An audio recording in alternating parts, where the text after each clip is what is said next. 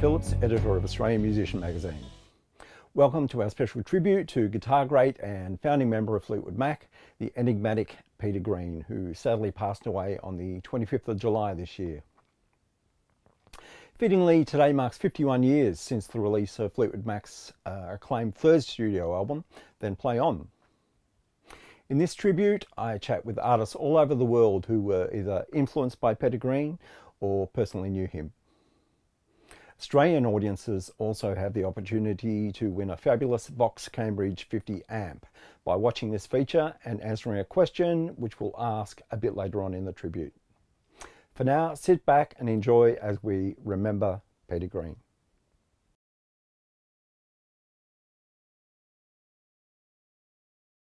It would have been the, um, the I suppose the British blues boom, you know, when when I was like 13 or 14 years old, you know, desperately trying to be a guitar player. And then we had this boom over here, you know, uh, 40 Blue Fingers and, uh, you know, Fleetwood Mac and Chicken Shack, uh, you know, John Mayall's Blues Breakers and things. Um, and as, as young, spotty youths you know, with the guitars, that's who you kind of listened to because up to that point, it was always kind of Hank Marvin or Jet and Tony Meehan, you know, very clean, twangy guitar sounds. And all of a sudden, you started hearing these things that were rocky and bluesy, you know, all featuring guitars. So it would have been John Mayall's Blues Breakers uh, first and foremost. Yeah. Uh, in fact, I still I still play um, the Supernatural in my sets uh, now and again today. They'll do a little version of it. So, um, so yeah, that was that was hideously inspiring. As yeah. you as you can imagine, hear, hearing a guitar do that, you know, nobody had ever heard a guitar sustain the, the way that did, you know. And it was just, it's such a lovely touch and tone, you know.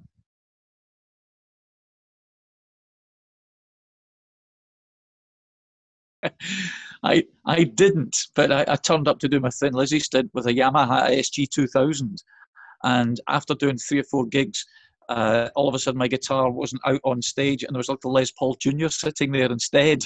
So I think there was a subtle hint that a rock band should be playing Japanese guitars, certainly at that time, uh, you know, late uh, late seventies. So no, I didn't inquire if the, if the guitar was still there. I'd imagine Gary hung on to that as much as long as he could.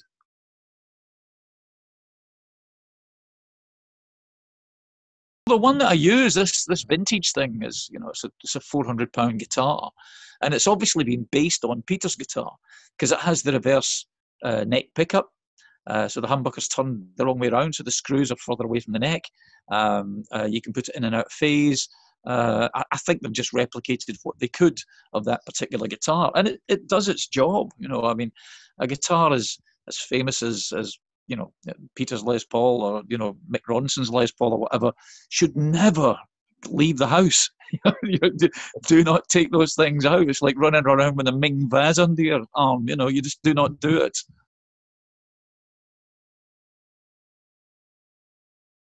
Well, the supernatural was a, the first thing that I'd, I'd, kind of heard. I mean, that entire album was a, a hard road. There was that Clapton. I can never remember. Um, uh, that that would have got me into um, early Fleetwood Mac. So when you hear things like, you know, "Need Your Love So Bad," and then you realise that he wasn't just a great guitar player; he was a great singer. When he did things like "Man of the World" and uh, you know, "Oh Well," uh, they were just brilliant. But I suppose the thing that really got me, like most people, would have been um, Albatross, which was the you know the Santo and Johnny sleepwalk, but for a, the next generation. You know this haunting, ethereal, atmospheric, you know, you know, beautiful piece of music. Uh, just took you away. It was just fantastic, and and to have an instrumental uh, like that become, you know, a global success was quite something. So that's still a, a fond favourite.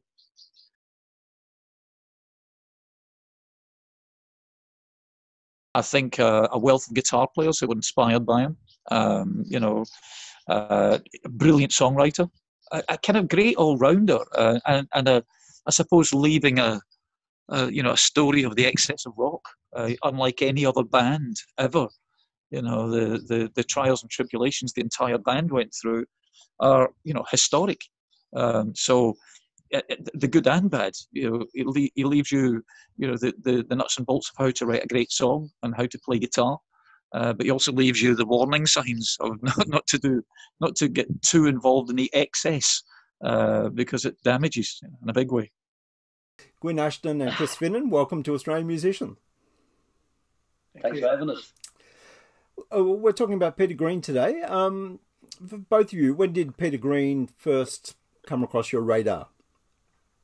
You first. You first. Oh. Okay. Well, uh, in 1968, so I was uh, 16 years old, and I uh, had bought the Hard Road LP.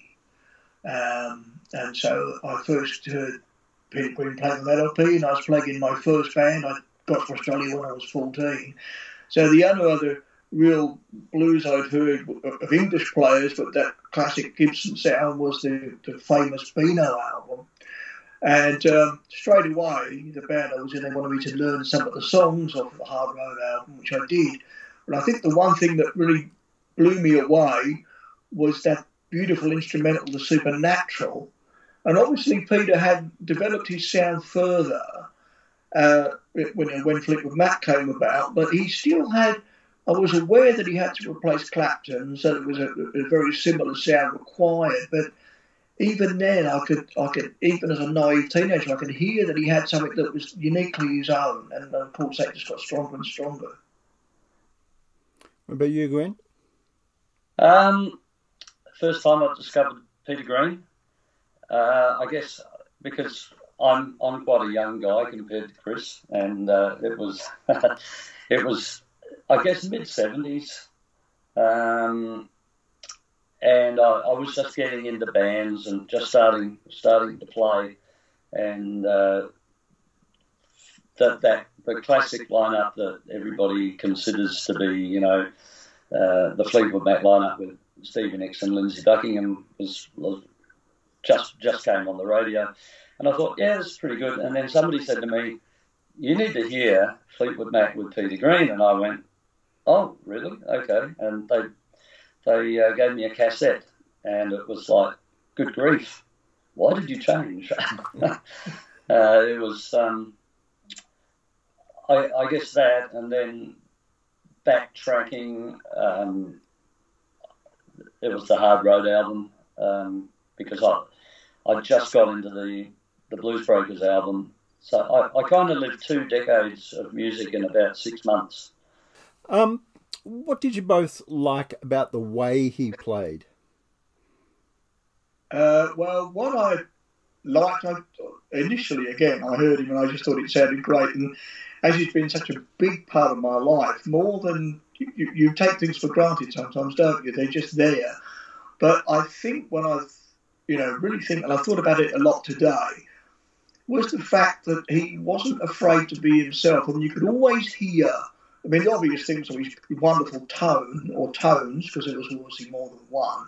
And when I first heard those things like Loved Another Woman, or even when I heard the John Mayall album, Blues from Laurel Canyon, Peter Green played on a track called First Time Alone. And the guitar was miles and miles away and very, very distant and, and very, very spacious. And everybody knows when you play the blues, you've got to leave spaces, but you don't just put spaces anywhere. Every space means so much. So when Peter left the spaces, I could still hear him playing. I could hear him thinking, and, it, and I guess there was a big lesson there about the importance of um, making every note you play mean something. I, I, I, I, suppose. I mean, I never heard Peter as a young man in England or anything. I only heard him on records, but he never wasted any notes. I always felt that every note he played really meant something. And I think that was a big lesson. It was like, you know, if you want to learn, if you want to learn English, you don't buy a dictionary and read it. You you've got to learn about phrasing and paragraphs and so forth. He just seemed to have this uncanny knack. You could take things from B.B. King or Albert King or whatever, and you could hear them in there. But he, you always heard so much of him. He wasn't frightened to be himself, and, and, that really was a big lesson for me. When you you were one of the lucky ones who met Peter Green. You supported him. Um, tell me about that experience. Yeah. Um, it was 1996. I just moved over to England, and somebody said, "Do you want to play?" I was looking for gigs, and uh, somebody said, "Would you like to play the Padbury Folk and Blues Festival or Blues and Folk or something because this was like a long quarter of a century ago now.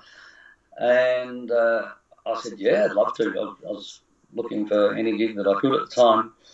I just put a band together, and they said, well, Peter Green's going to be playing. I went, yeah, yeah well, I want to be at that. And so I was, I was chatting to Peter out the back, and uh, the first words he said to me was, "You look like me when I was young," and uh, I, I, hadn't that, I hadn't even thought about that, and and we just got along really well, and then we did we did a couple of shows in, in England, and I was backstage at a John Mayall gig. Uh, Blues Breakers, I think he had Buddy Whittington on guitar, and Peter Green's Splinter Group was opening the whole tour for them. So I, I just I was invited to go along to the gig, and um, I was talking to Peter out the back for quite a long time after the show, and he wrote his, his name down on a business card and, and, and his address, and he said, "Come round to the house, and you know, we'll have a cup of tea, you know, we'll we'll have a play." And then uh, one of the other band members sort of went, Peter, and went out and said, Oh, I'm not allowed to give you my phone number. I went, Oh, okay, that's okay. But I could have gone around his house, but I just didn't want to roll up unannounced, you know. I just thought that would, and I should have done. That's one of the things I kicked myself for. Peter Green first came across my radar actually from my dad because he's a huge Peter Green fan. So I heard Albatross, um, Fleetwood Mac, of course. Um, my dad had a bunch of VHS recordings of, of Peter Green and obviously on vinyl too. And um, I just loved his playing, his tone, everything. It was just amazing. Um, you know, he just had that sort of bluesy sort of bass tone and he really kind of uh, you know, his, melodically as well, like the way he played was incredible. So it was like the, the mixture of his tone and, and, and also his choice of notes really affected me. My favorite Peter Green track is called Oh Well, which is um, a Fleetwood Mac track. And uh, yeah, I love that track and Albatross as well. Um, yeah, love them.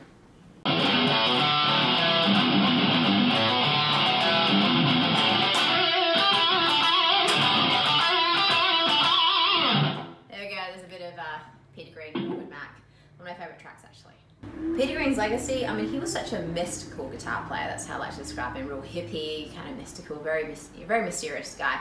Um, his personality, everything, even on stage and the way that he presented himself. But um, with his playing too, over the years, it really changed a lot from the Fleetwood Mac playing to when he went off to his solo career and everything. Um, yeah, just a really incredible player that, that affected me as a kid.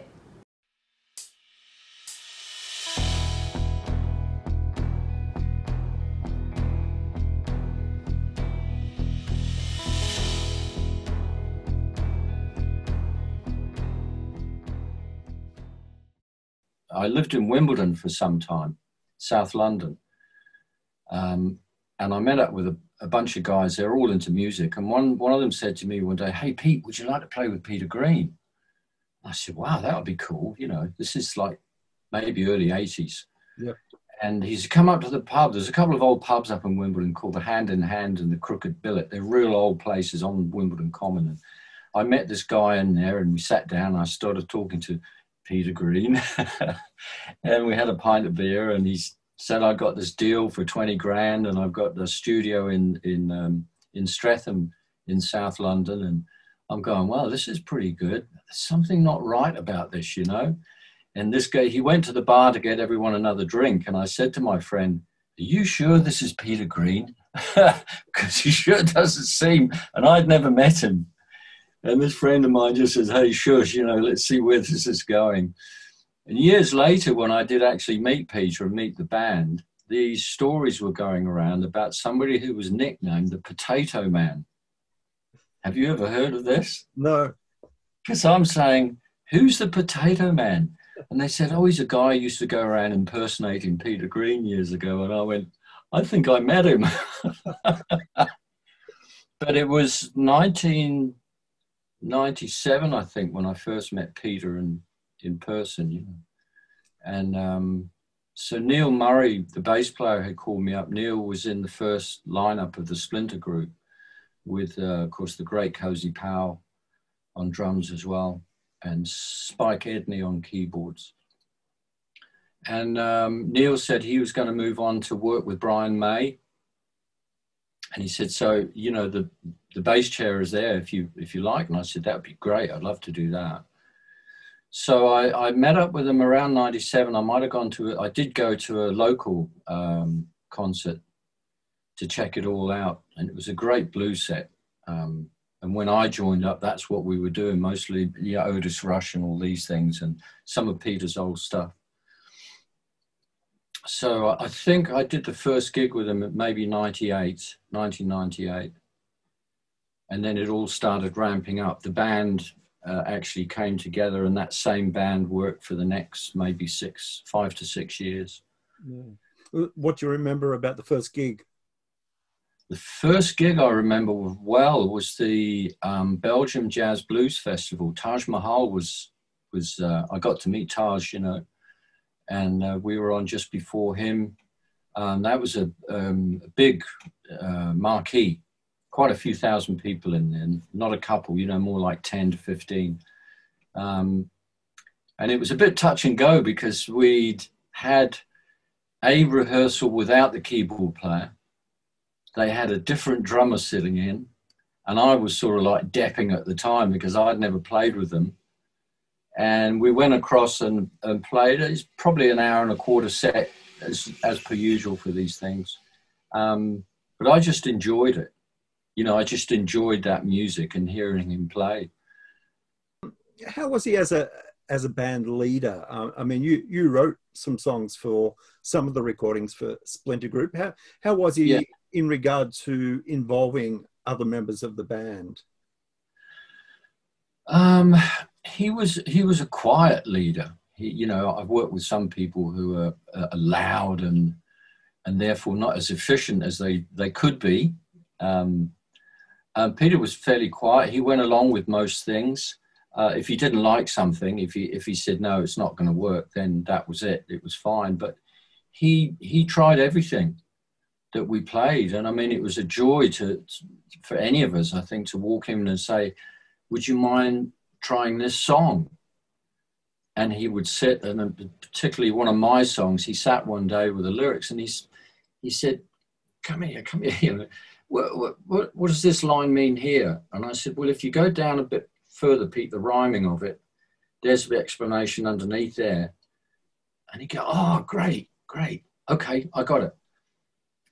Now, when you're writing a song, uh, you, you've got a particular in your head a, a, melody maybe for the, for the words and everything. And this is your guide.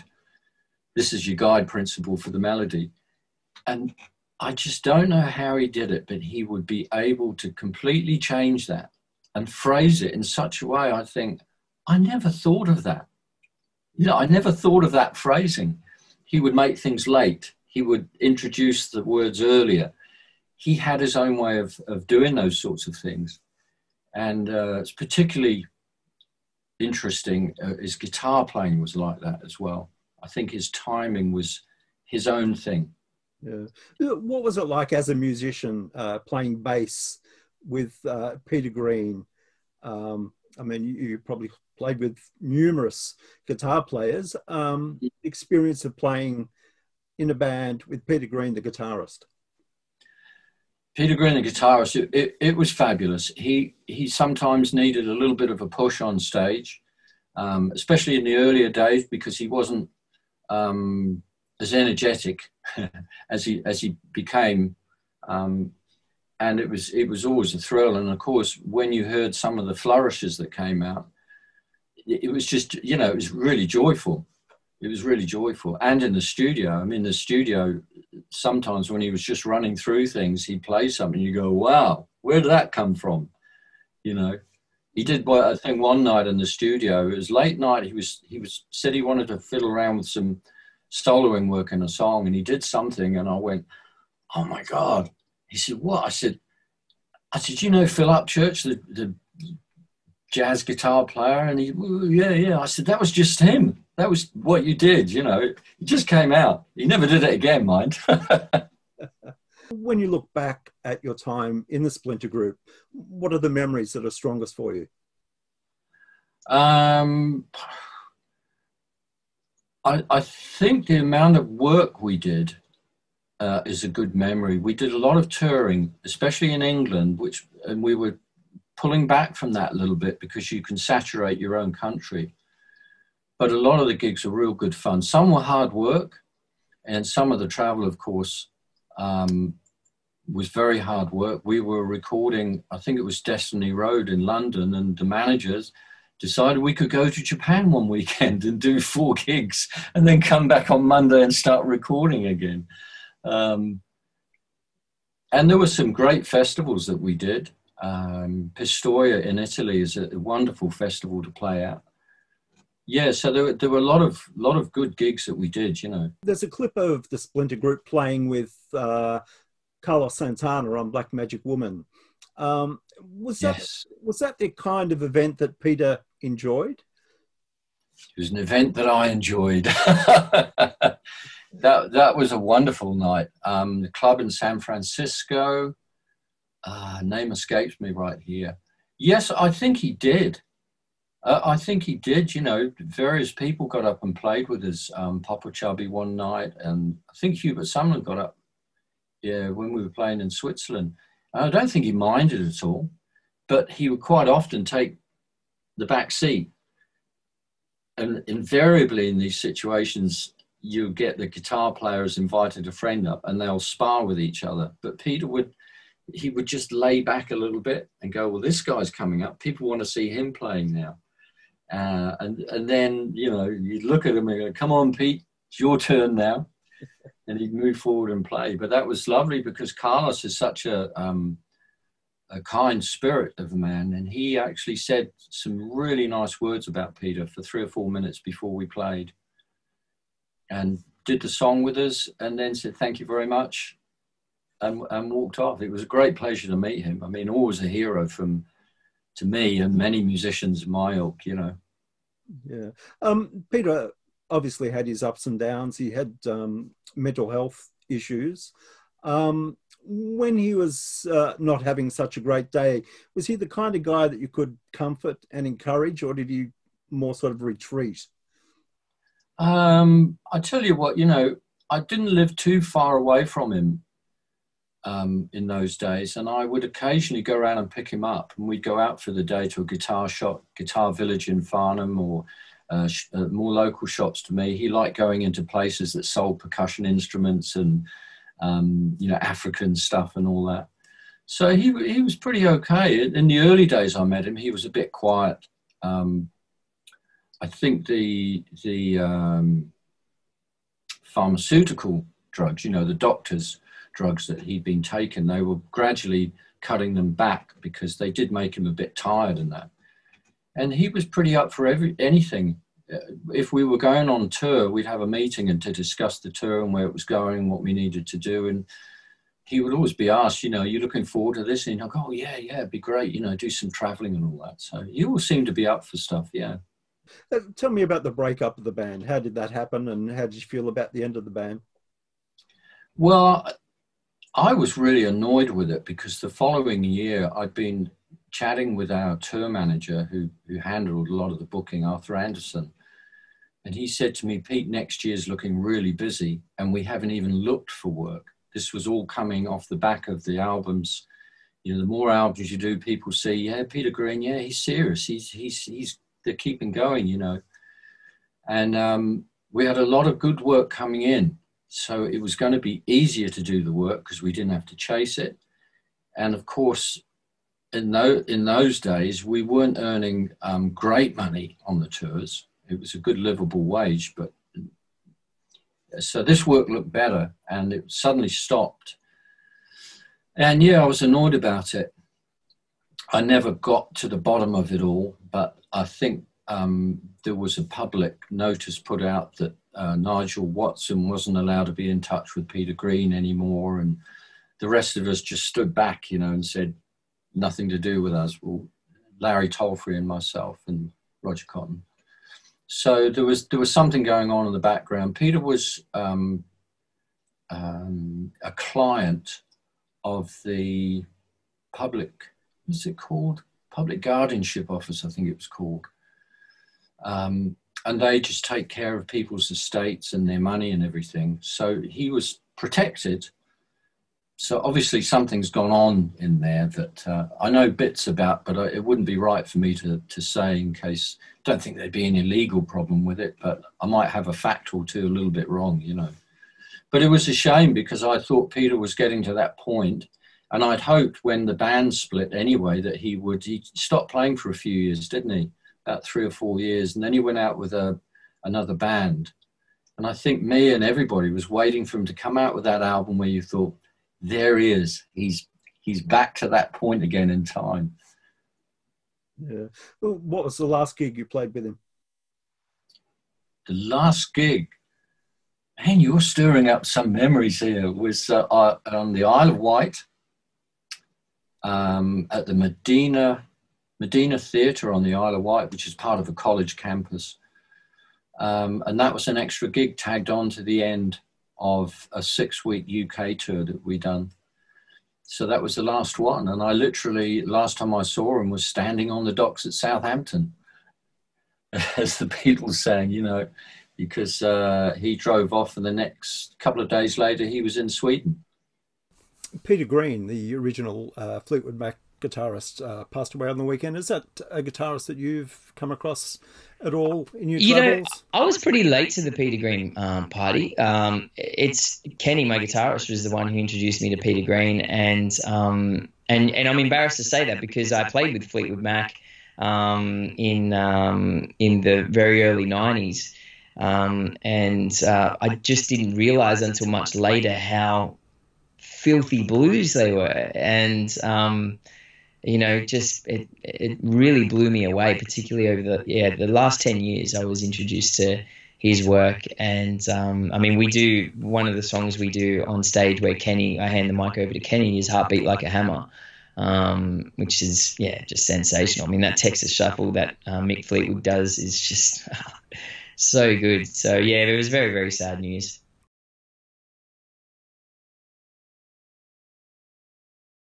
I remember when I was fairly young, like 15 or 16, kind of right around the time I was getting very into blues, like, you know, first finding BB King's music and John Lee Hooker and all those people.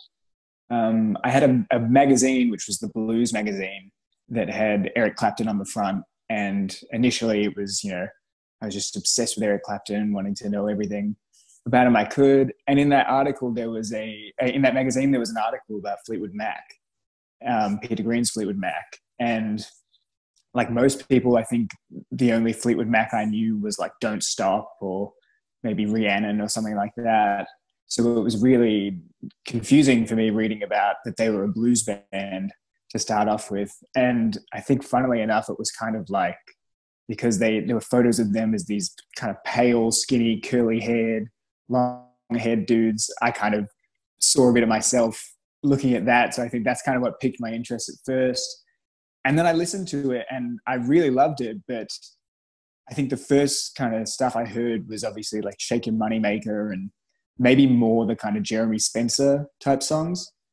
And then it wasn't really until maybe like 2014 or 13 that I just I went deeper in on the Fleetwood Mac stuff and really deep on the Peter Green stuff, hearing World Keep on Turning and Albatross and Oh Well.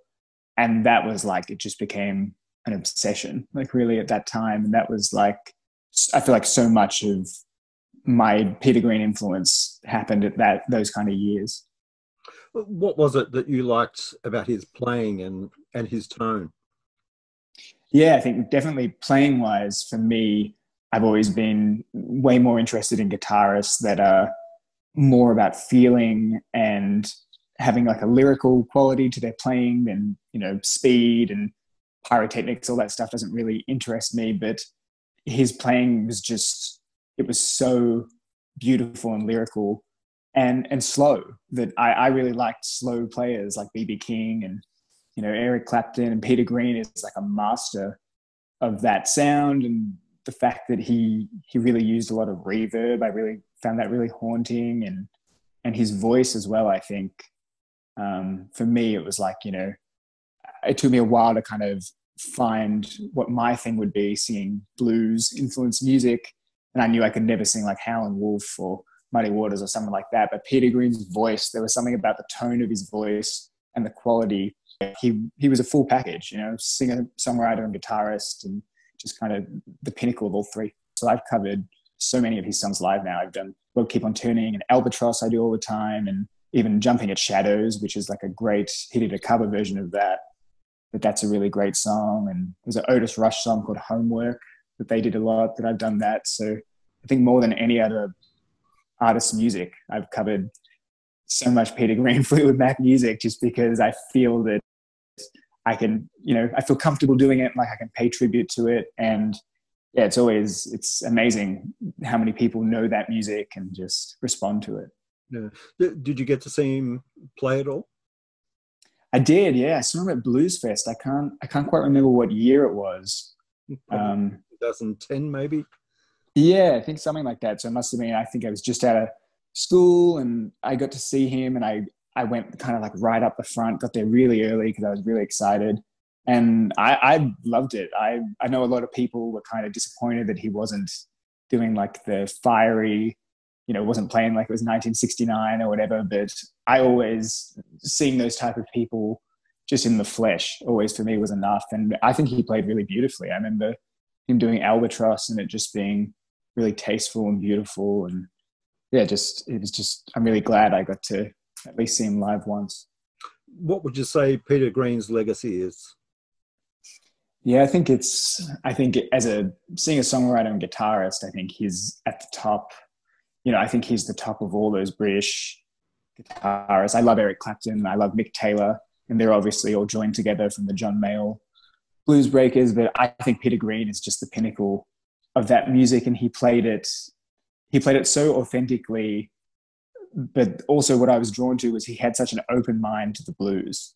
Where if you listen to the first Fleetwood Mac album and then you listen to Then Play On, they kind of stretched that so far. And it was what started out as maybe just an authentic blues band, went off and did so many things with the genre and took it further, which for me, I think that's a testament to any artist is that you can kind of, you know, be a mixture of all your influences, but take it further and do something unique. And he definitely did that. And I mean, you can see the effect that Fleetwood Mac had on Led Zeppelin and and all that type of what became blues rock, like even now the Black Keys or Jack White or anything, you can kind of find traces of the DNA of that music.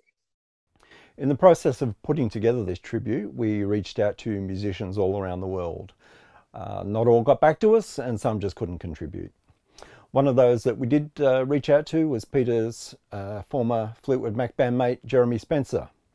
Uh, Jeremy politely declined to uh, be involved on camera, but did kindly pass on this message. Hearing of Peter's passing on made me recall my last conversation with him in March this year. It was, as other calls over the years, pleasant communication covering different topics. I believe he is finding the peace now that was forfeited in him here I owe him a lot, teaching me the importance of emotion and less is more in music. In the words of Shakespeare, if music be the food of love, then play on. So then, Peter, till we meet again, play on. Australian audiences have the opportunity to win a Vox Cambridge 50 amp. To enter, simply tell us via email what colour was Peter's Manalishi. Next up, one of the more interesting feature interviews we did for this tribute, and that was with former Fleetwood Mac manager Dennis Dunstan. Uh, Dennis reveals some never before heard stories of Peter Green. So sit back and enjoy.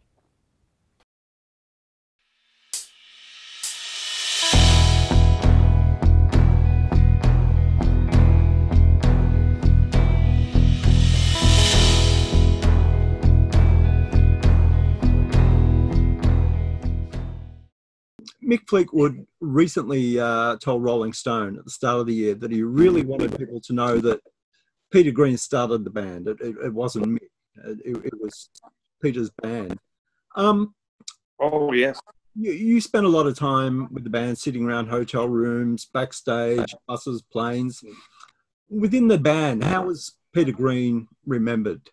He was always regarded in the highest respect, um, legendary status really amongst the band, and everyone was aware that it was Peter Green's Fleetwood Mac. But it's his uh, selflessness and his lack of ego that wanted.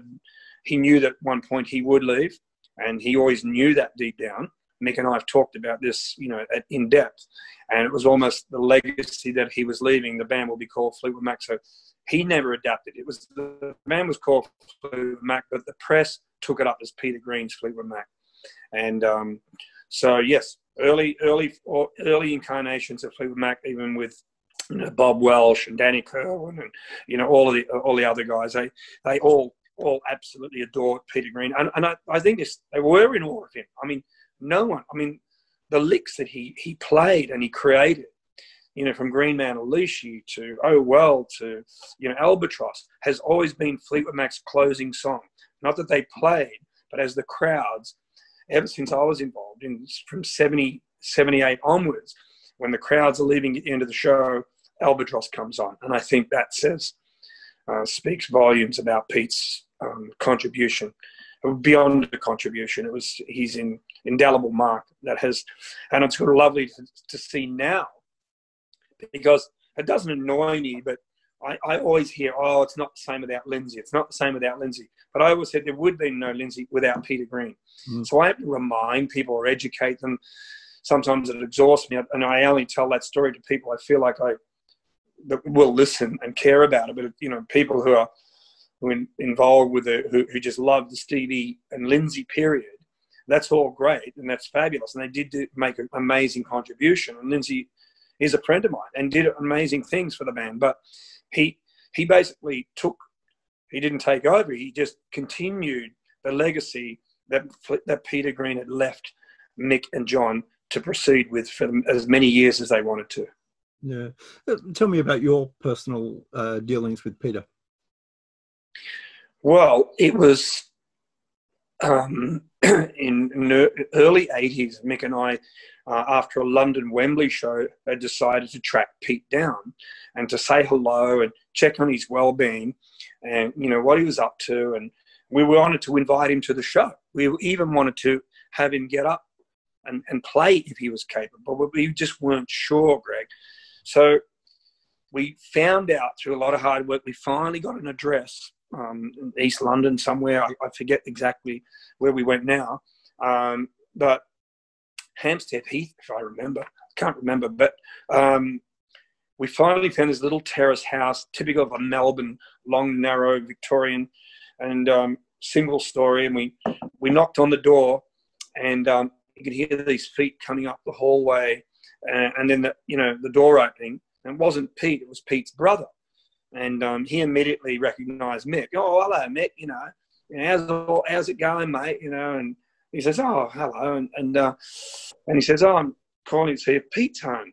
He said, yeah. Um, uh, you want to talk to him now, do you? I said, well, yeah, that's why we're here. We'd like to say hello and see how he's doing, and and um, so next minute we were still left standing at the door, and uh, he go because the brother was becoming overprotective of Pete and um, he he went back down the hallway. Remember those long narrow halls, and the kitchen was always at the back.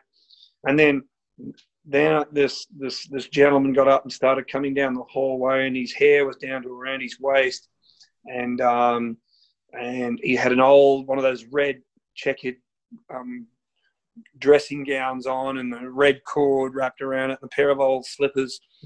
And he comes to the door, and he scratching his head, and then we realised his fingernails were about 10 inches long.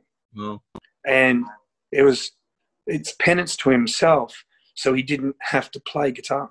Wow. And, um, and didn't want to play guitar and was um, pretty complex and pretty set us back a little bit.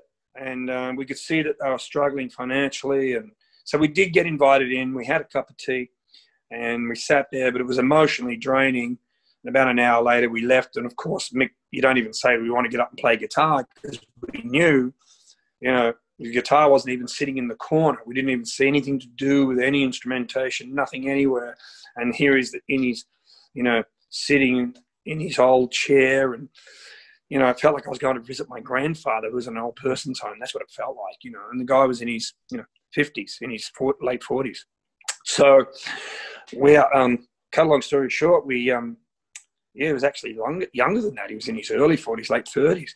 So um, we, we then um, left. You know, Mick was crying in the cab or in the limo. it wasn't a cab; it was a limo, and we went heading back to our hotel and um, and I said, Mick, we got to do something, and we got to."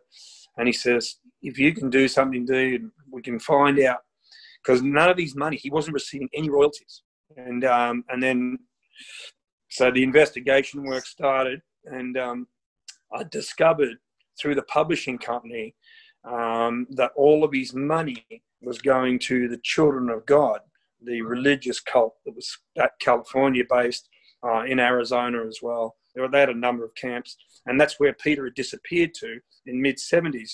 And when the early Fleetwood Mac, I think it was 73, 74, and uh, they were they were touring as as Peter Green's Fleetwood Mac and doing quite well.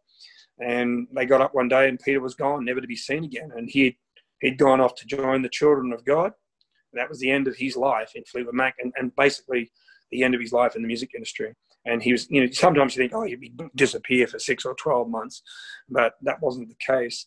For him that was the end. And and then mick had to sort of basically think about how what he was going to do and what they were going to do. So they all went back to england then regrouped but that's a story for another day. But getting back to pete so now they had somehow coerced him to signing an agreement that all of his publishing royalties would go to them Mm. And um, so, yes, this lovely religious uh, sect of people um, doing all the right things and getting someone who was uh, basically addicted to acid, drugs, or balls, Mickey Shapiro.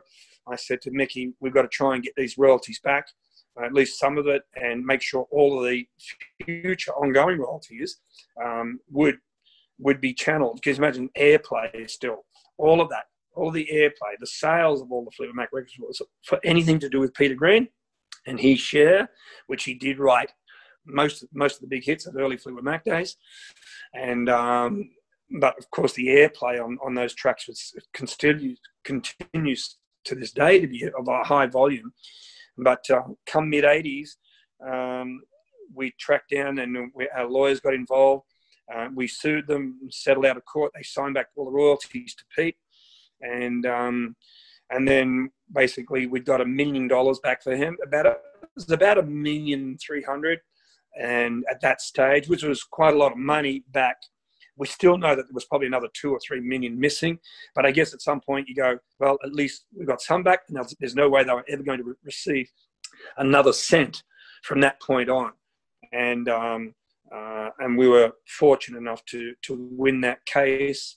And that's why I have no no um, no qualms about mentioning the children of God and those those, those uh, disgusting cults that think they, they disguise themselves as this nice religious you know um, corporation or whatever they are.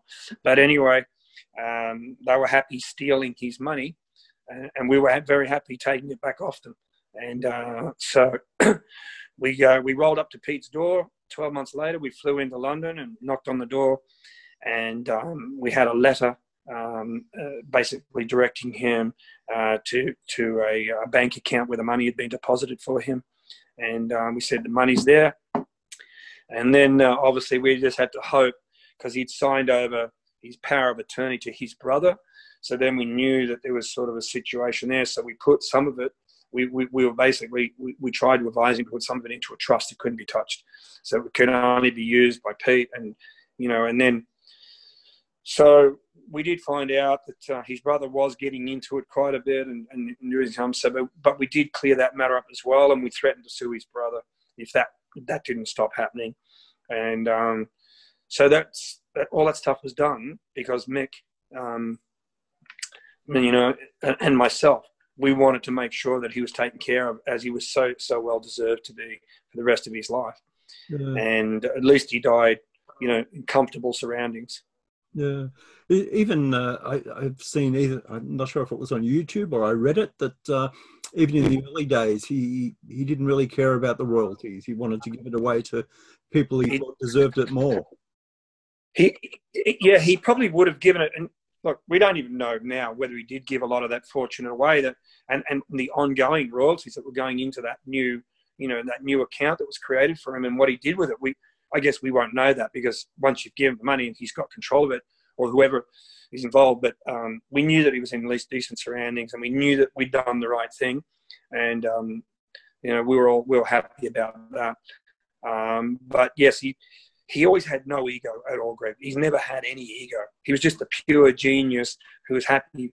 I remember the last show, a friend of mine, George Purvins, who lives in Melbourne, is a real guitar freak, and he one of his last shows ever in Australia. And Pete sat when he was playing. This is only a number of years ago, I think in the last six or seven years, and he sat with his back to the audience on a hmm. chair, and there were just glimpses of his former brilliance.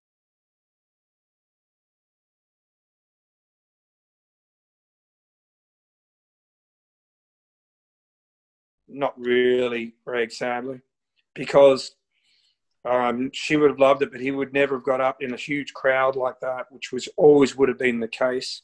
Um, it was just something we all wanted it to happen, and that's why we went to invite him to play. But it was the nails, and then of course his his uh, mental health condition from all of the early acid and, and, and pills, and he wasn't in, you know, and um, if if you probably said to him Stevie Nicks, he'd probably say who. Yeah. That's how how distanced he'd become from anything to do readings. He wouldn't read anything about the pop world or what was going on. Uh, Stevie did want that though. She did always want it. Uh, we wished it had have happened for her and for Mick and for John and for Christine, Uh, and you know it would have been fabulous.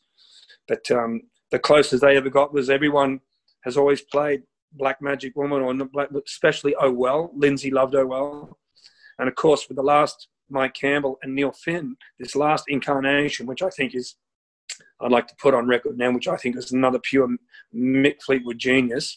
Mm. Getting those two guys, both humble, amazing musicians who absolutely looked up to Peter's work immensely and were heavily influenced by Peter Green in their own guitar playing and their own singing styles. I mean, I, I think it can never be understated just how important Peter Green is to the music industry. And when Eric Clapton, you know, when he replaced Eric Clapton in the in the Blues Breakers, you know, and people were writing, and, and to replace Eric Clapton, and then to have the subway written Clapton is dead, spray painted or painted on walls of subways throughout London.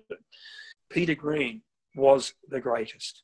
He he he was the greatest guitar player, and and I told him so, and he would always just laugh and go, "Nah," you know. And but there's no question that the, greats of the world who do know guitarists and guitar playing are humbled by the incredible virtuosity of Peter Green. Yeah.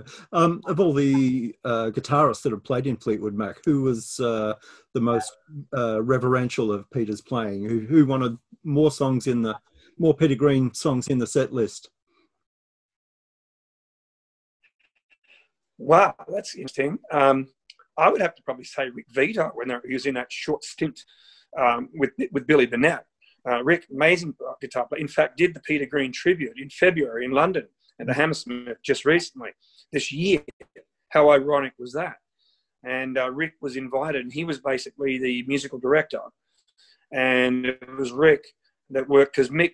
We had Rick uh, Vito in Mick Fleetwood's Zoo, you know, which was a touring sort of when Mick wasn't playing with Fleetwood Mac. That was his fun band, and we'd go out and do pub and club gigs. And uh, even up until recently, Rick, you know, um, wasn't sadly invited to, to join the Fleetwood Mac lineup. I, he was always better in that blues sort of um, Mick Fleetwood's blues band situation. Um, and um, but Mick, when Mick invited him to play and be the, the, the guitar player, the lead guitar player amongst some of the greats on that stage that you'll be hearing about because it was all filmed by a German TV station, Yeah. and that's going to come out next year sometime. And um, it is absolutely brilliant. But Rick Vito was absolutely honoured um, to, to do that. And I got to say, Lindsay did love it. Lindsay, we, we played obviously oh well, but um, I, and I'd also have to say Neil Finn and Mike Campbell, the most recent, they insisted, and Stevie and Christine and Mick and John all wanted much more of the early Fleetwood Mac bought set brought into the new set of this last, excuse me, of this last tour, and there was a lot more um, Peter Green stuff, and it was just brilliant when it was played, yeah. and those guys did a true justice. Yeah, did it um, fantastic. Did Mick and, and John sitting around backstage talk much about the old days? Weirdly enough, backstage, there's not a lot of social activity going on between the band. In fact, they, they all have their own separate dressing rooms. It's not like, you know, um, uh, so it's, yeah, I mean, it was well known that they, you know, for a while there in the mid to late 80s, I had five limos and, and even at one point when our one jet broke down, we had five Lear jets and, um, and, you know, there's actually six, one for each band member. And there was a limo for me, which is great. That um, yeah, and then we even went through a point where there was separate hotel rooms between Lindsay and Stevie. You know, separate hotels, not hotel rooms. So different hotels. They got that bad for a while, but they understood the business, which was Fleetwood Mac. And when they got on that stage for that two or three hours, nobody knew any different. When they came off, see you later. Went. But Mick and John have always had an undying respect for each other and a brotherhood that'll never be uh, denied. They love each other. They've had their minor little, um, minor little, uh, you know, shortfalls, but really very, you know, nothing major at all. You know, they, they just respect each other. And I think, you know, um, to this very day, if it wasn't, if John and Mick are not in the band, I think this, um, it's the end of Fleetwood Mac. Yeah. So, how did you hear about Peter Green's passing? I got an email um, first thing in the morning, early on, um, early this week. Um, uh, when was it? On um, yeah, so, yeah, I forget the day now. It's been a pretty emotional last few days, and um, and then I got a, a, a call. It was from Melbourne. It was my good friend George. He said, he said, D, have you heard? I said, no. It was about eight o'clock at night. He says, Peter Green just died. And then I got straight on the phone to Mick because it was late afternoon in Hawaii, where Mick lives in Maui. And um, he says, I was just about to call you. And um, we had a good cry together. And so we were, uh, you know, trying to reminisce and, and um, uh, together about, you know, how important and what, what, and what a loss to the industry. It's 73. It's young, you know. And Mick's 73 now. And, um, you know, and Chris is 60, 76 and that. But, you know, they're all still plugging along. And here's Pete. It's obviously it was that early abuse um, and I, I jokingly, and Mick and I had a, a laugh between our tears, basically saying that he says, and look at the abuse I did to myself, and I'm still here. He says, you know, but um, I said, mate, it's, it's a wonder you're still here. the amount of uh, cocaine that went up that nose and brandy that went down his throat. But uh, you know what? He's as strong as a horse, and, and Chris is, is, they're all clean and healthy now, and they have health instructors on the road with them, and dietitians, and it's like they're 17 again. We might get another five tours out of them. Who knows?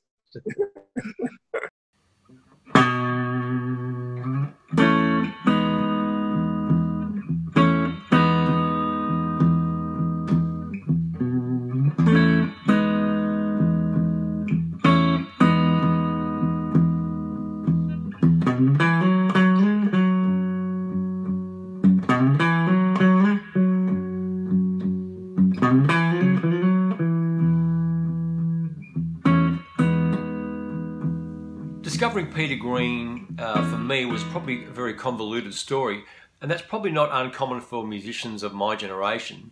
Uh, I grew up playing the live scene and cutting my teeth from the early 80s onwards. Not a very cool time in music, really. But uh, so all those uh, great records that were made in the 60s and the 70s, for that matter, were not reissued yet, and and you really uh, didn't have the internet or, or the information access that you do now, of course. You couldn't just, you know, type in Hard Road or, you know, the Blues Breakers or early Fleetwood Mac. It just, it just wasn't, just didn't happen that way. So uh, you really needed access to somebody who had a great record collection or, or um, you know, we had an import record shop uh, locally where a lot of this stuff would live and we would hang out there and you know, we just listened to records being played all day.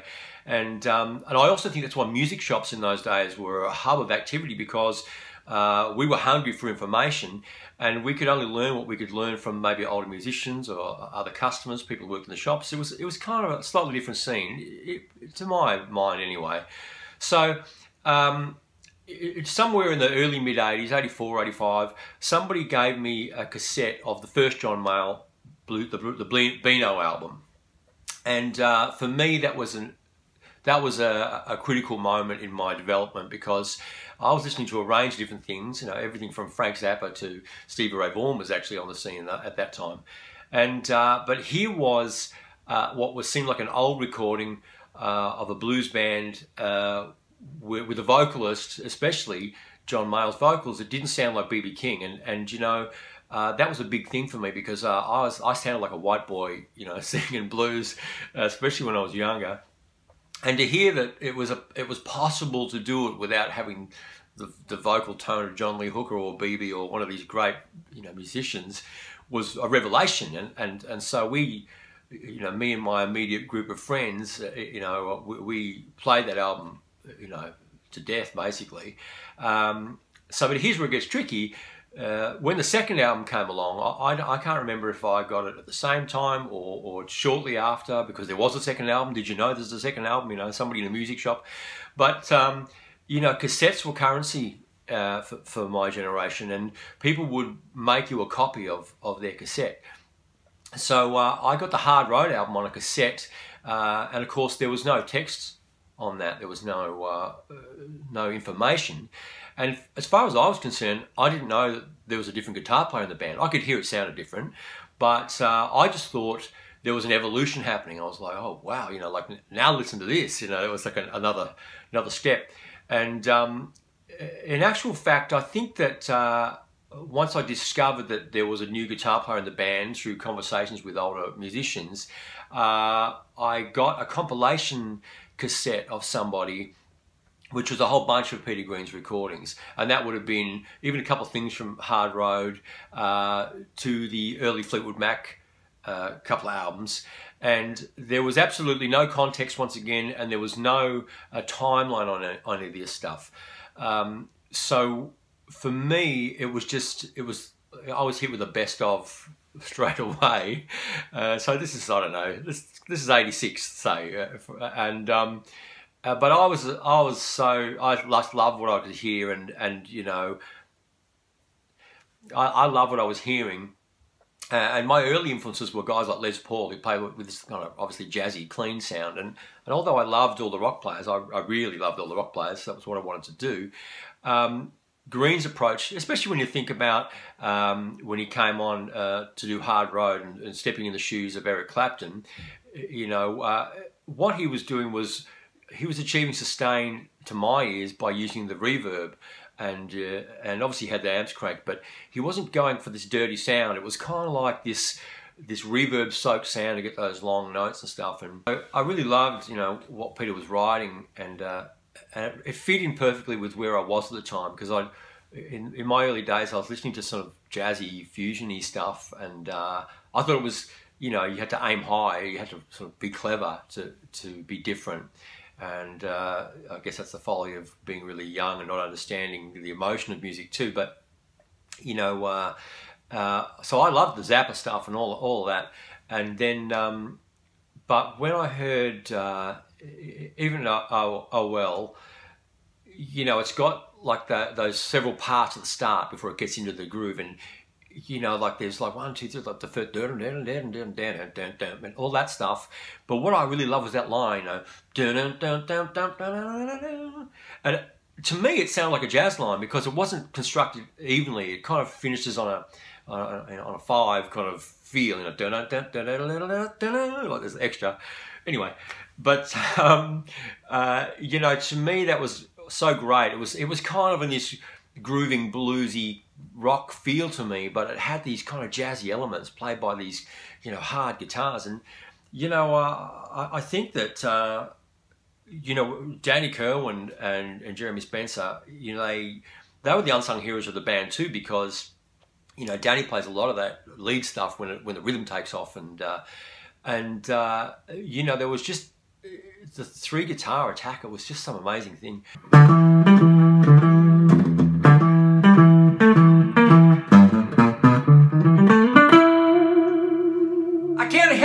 Shape I'm in. I can't sing, I am pretty, and my legs are thin. But don't ask me what I think of you. I might not give you the answer that you want me to. I think the first time uh, I heard him do uh, things like Supernatural, Albatross for that matter, but the Supernatural obviously uh, had that long, you know, ghost uh, sustain, and you could really hear that it needed that the, the verb to make that happen. I don't know if they did that in the studio or if they did it through an amp, but to achieve that kind of thing as a, a kid with playing through my dad's Fender amp and uh, you know, we cranked the reverb and tried to make those sounds. Um, so there was a lot we didn't know uh, about how they were achieving these tones and sounds. So it was like a miracle, really, to listen to uh, to those naive ears. And uh, guitar players I would go and see, Kevin Borich, the Emmanuel brothers, people like this, you know, uh, they were playing the scene, and I would see the Emmanuels quite a lot. And I know that Phil used to love to play Albatross, and that's probably where I first heard somebody play that stuff. And uh, uh, you know, it even was even a surprise to me to discover that those harmony lines, bow, bow, bow, it was actually two people. You know, so um, you know there was three guitar players in in, in that band uh, in the first Fleetwood Mac lineup, and uh, so all this stuff was was information that was gathered over a, period of time. So there was a, a real fascination to it because it was like a plot unfolding uh, you know, in those days. I mean, I'm forever saying to students, you've got no idea how lucky. I'll be giving a lesson, I'll just say, oh, have you heard, ever heard uh, Supernatural, you know, YouTube, boom, I just type it in and there it is. But uh, my first uh, tape of that stuff that I'm referring to, you know, was this muddy sounding cassette. We had to crank some top end into it to make it sound okay because it was a, it was probably a tape of a tape of a tape. And because I didn't get all this music in some chronological order, uh, I just got it all kind of at once, really, in the mid 80s. Uh, you know, it was, I just thought it was a great variety of, of sounds, you know, because you, you, you put Oh Well uh, next to Man of the World, next to Green Manalishi, it's, you know, they're, they're amazingly different, even though they're connected. But and Green Manalishi was uh, was another thing because uh, it was so dramatic. You know, I, I, didn't know it was the last single that the the band were going to record or anything like that. It was just another song to me. But to me, uh, you know, it was almost like where I wanted to go. I, I, had a band called the Astros at the time, and you know, I was trying to attempting to write songs in sections and parts as opposed to as a, a verse, chorus, verse, chorus, middle eight out kind of experience. And you know, the drama of Green Manalishi uh, uh, really knocked me out. You know, and, and I can see it with that driving dun, dun, dun, sort of thing that it had. That um, I can see. Well, I think Judas Priest did a cover of it. Or some heavy band did a cover. I actually don't think I've heard of it anyway. Um, but you know, I can understand why people from that ilk went for it because it was that down, you know, that eighth note kind of downbeat thing.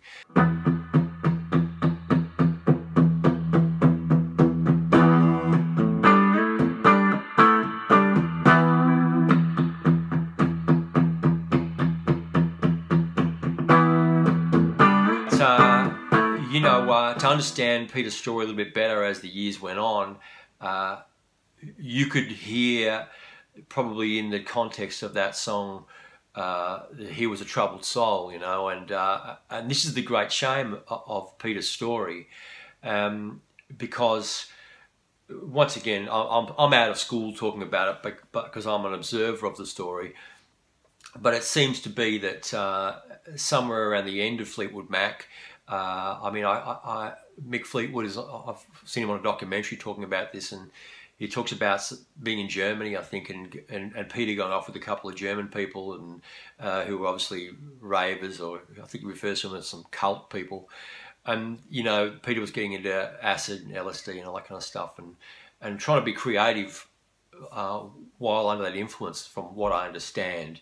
But unfortunately, uh, many people will know that you know, messing around with that kind of those substances, there's those that will just never come back, and um, you know, it's it's a terrible shame to think that uh, such a talent as Peter Green, who was messing around with all that stuff, uh, went on a trip that just didn't bring him back quite right. And um, from what I understand, that was kind of part of the undoing of uh, of the original Fleetwood Mac lineup, which is a terrible shame. And uh, and then the years that followed, uh, you know, I know Peter made some other records, but uh, we really didn't. I, I, didn't see those records in Australia. I've heard bits and pieces of, of them now, but uh, but at that time, I didn't get my hands on that stuff, you know. And uh, and then he toured. I, I, know he toured in the Splinter Group uh, years later, and I'd already you know had discussions with senior musicians about what happened to Peter Green and. I don't think I could have made the gig anyway, but but in retrospect, I'm probably glad that I didn't because because the Peter Green I want to think about is is the guy from that Oh Well clip on on I think it's on BBC One, you know, and he's such a guy. He's in command, you know, and, and when he when he opens up with those chords on the on the album, of course, they're acoustic guitar, but he just plays on his on Les Paul. But when he opens it up and it all, and lays it down, you know, he's he's so in control. You can see that in his time, he was he was a guy ahead of the ahead of the of the of the pack, you know, and and uh, would have been an amazing time to be in, you know. But you know, here's me hearing this in the 80s, you know, in amongst a flock of seagulls. And okay, talking about Peter Green.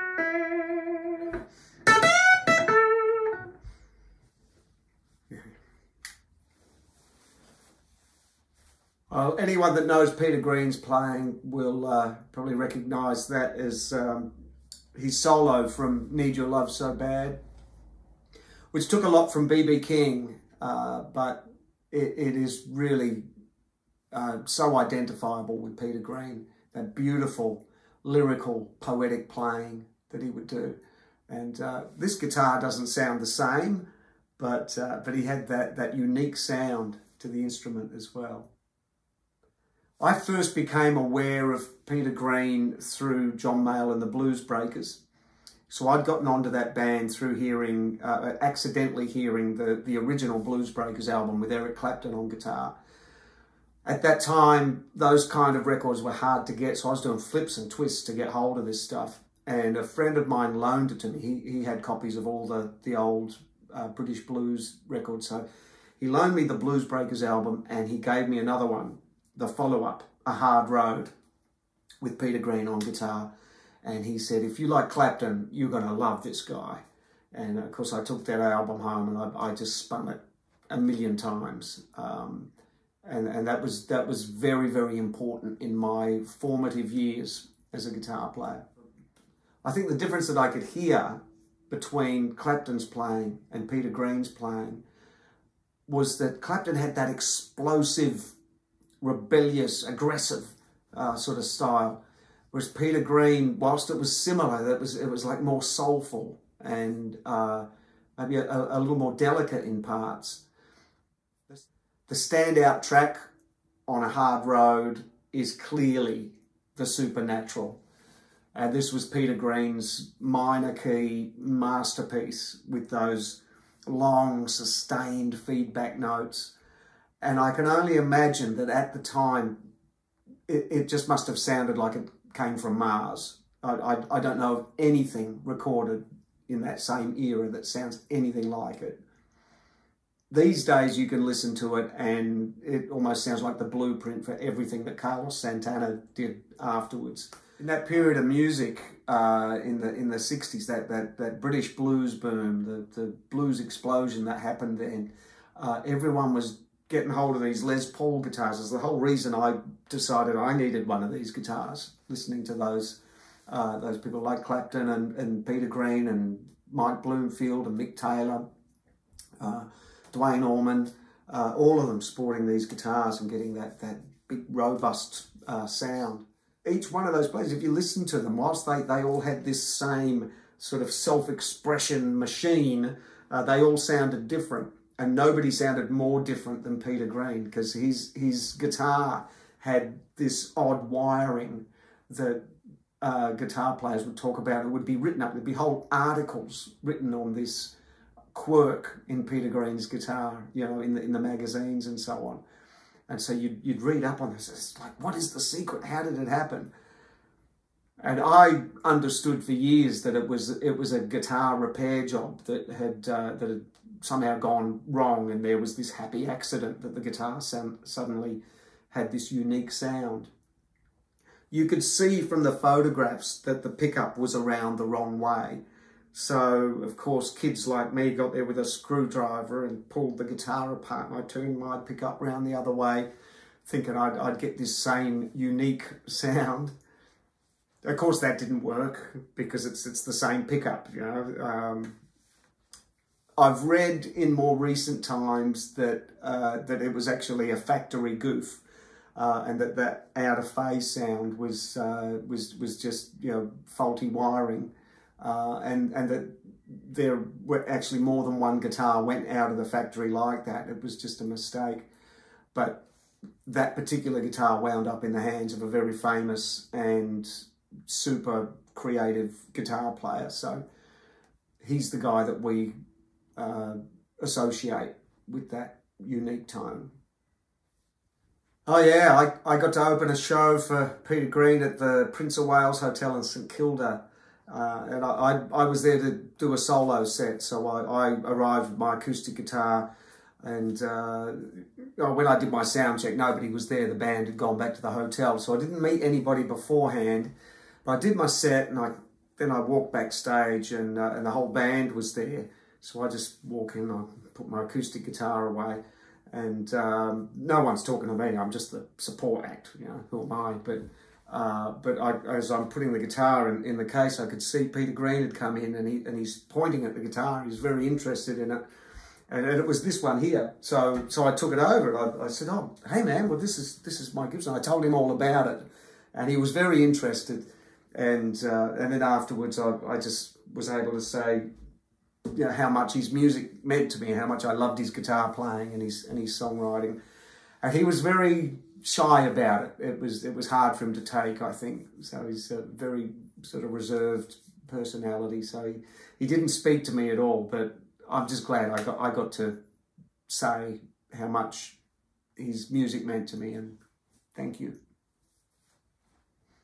I think Peter Green's legacy is those incredible, generally minor key masterpieces that he came up with.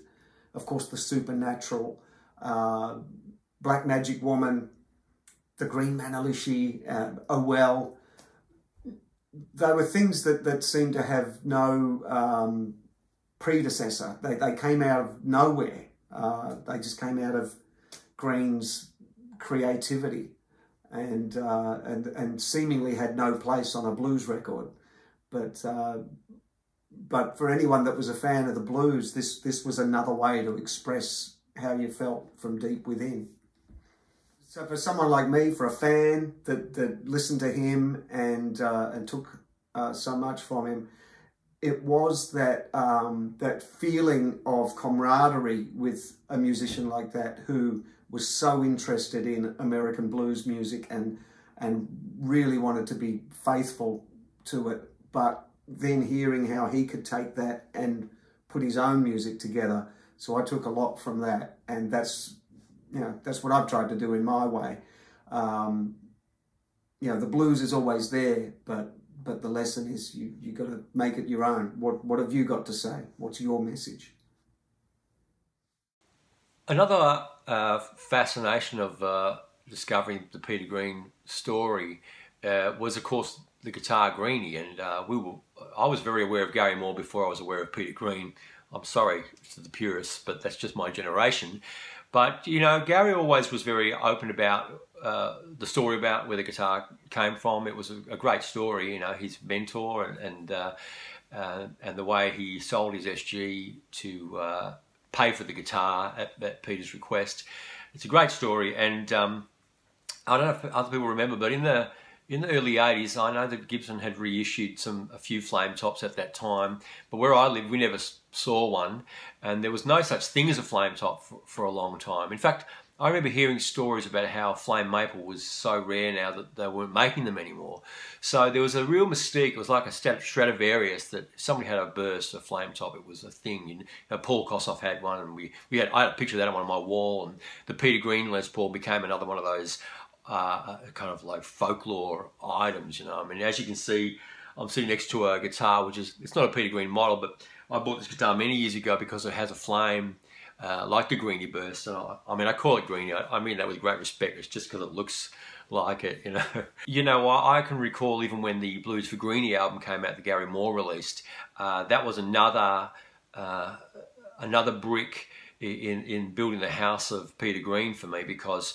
Uh, you know, they were great recordings. You know, they were modern recordings. I, I mean, and, and, and, Gary plays great on that record. It's, it's probably my favourite record that he made uh, because it's a more pure tone and um, and I think he did a great job in tribute to, to Peter when he made that record. But uh, you know, we discovered it was another it was another time where we discovered the songs again. You know, and uh, and uh, and that was a thing for me too because I, I, was trying to write songs and be creative. And even though Peter was known as his blues player, and I, I know when his Hard Road comes on, it's, it's blues straight away. But there were so many things about it that weren't strictly uh, blues, you know, and I, I, remind the blues police this on occasion. But, uh, you know, uh, when he played those uh, real minor blues things, you know, to, to me, uh, Black Magic Woman, for example, was a distant cousin to All Your Love, which he didn't play on, but I, you know, just it's the you know Otis Rush songs on the first record that Clapton plays. But it's it's the, in the root uh, no, the root chord is a minor chord. Instead of being a one four five with kind of like a major root, uh, it's a real minor song. Uh, so that means when you play that minor sort of scale, it's getting a bit technical or nerdy maybe, but it really sits in in in a, in a great way. It, it, doesn't have the the tension of like playing a minor pentatonic scale over a major root, which a lot of blues has, you know, and um, uh, so playing that minor, you know, the D minor and, and, and, and, and playing a real minor scale over it, it, it gives it to me, uh, once again, like the supernatural, this spookiness. And I was really obsessed with playing things in minor keys for a long time, you know, because I, I just love that eerie uh, sense that it had. And, a lot of that had to do with uh, some of those Peter Green tracks because that's how, how he um, wrote them, I suppose. And and I loved his his songwriting and uh, to understand years later uh, the journey that he had and the struggles that he had, uh, you know, from the end of Peter Fleetwood Mac onwards, is still fascinates me and and kind of, you know, it's a kind of upsetting story. I mean, I don't, I don't know Peter Green. I don't want to sound like a tosser, but you know, I, I, I I'm one of these people who admired these great artists from afar, as you do.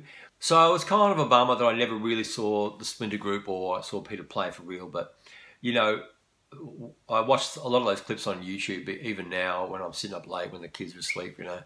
And uh, I, I, still see him as this guy in command, you know, just uh, just a great talent. But um, somewhere in the about 86, 87, uh, I, I, had a band going, original band, and we were playing kind of a slightly experimental rock kind of vibe. I mean, I, I think that.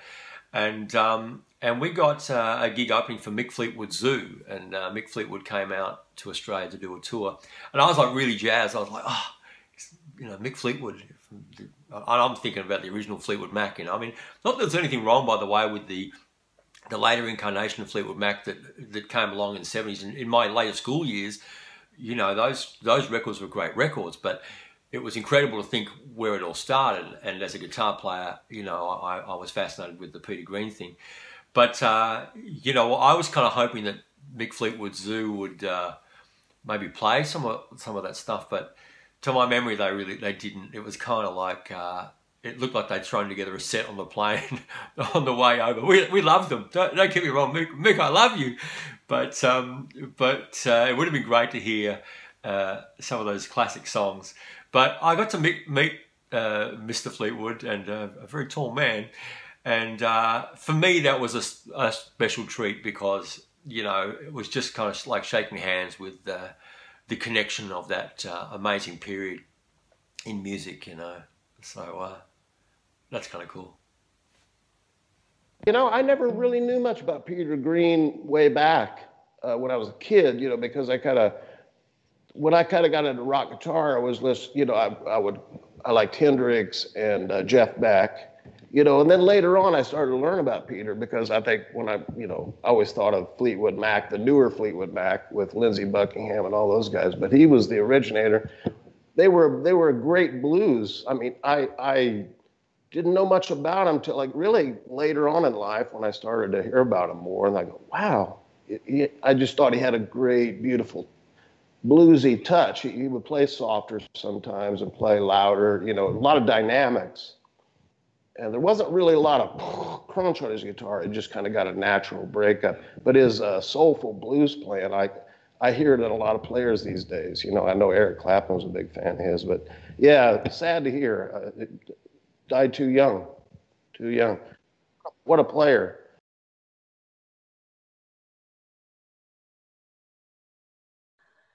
I think when I was living in Los Angeles, uh, so quite late probably um, in the scheme of things, considering that he's the absolute kind of guitarist that I would love, that I do love.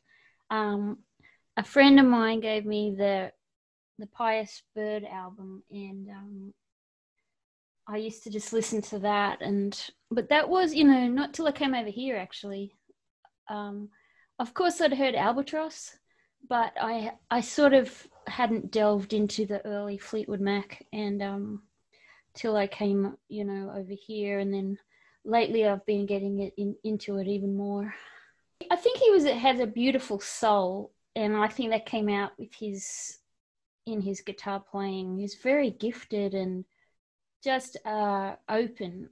It's like um, it's not pretentious and it's not technical and it's not. It's just about music, you know, and feeling and emotion and um, it's not theatrics and all that stuff, which I don't really get into. But um, uh, there's just something about his personality as well. I've been watching some documentaries about him and he's just such a sort of normal, down to earth kind of person. He's not a showbiz. I don't think he, he really handled showbiz very well, and um, that's something I can relate to myself. I think he he's a good role model musically. Um, those English guys were quite amazing the way they sort of were sponges for the American blues music at such they were so young and but it just sort of spoke to them you know and that's one of the greatest things that has ever happened in western music is that crossover from america american blues to england to these young teenage boys over there who started playing this music. And america was so segregated that most many white people actually hadn't heard the blues until it came over in the british invasion and they thought I have some friends from Texas who thought that the blues came from England, and um, which is just shows you how segregated their radio stations were, and everything was segregated, not just where people were living. Um, and I just think his legacy is just beautiful music, really beautiful guitar playing. Um, nothing overdone about it I don't know. Just everything about his music is, is really fantastic. I just love it.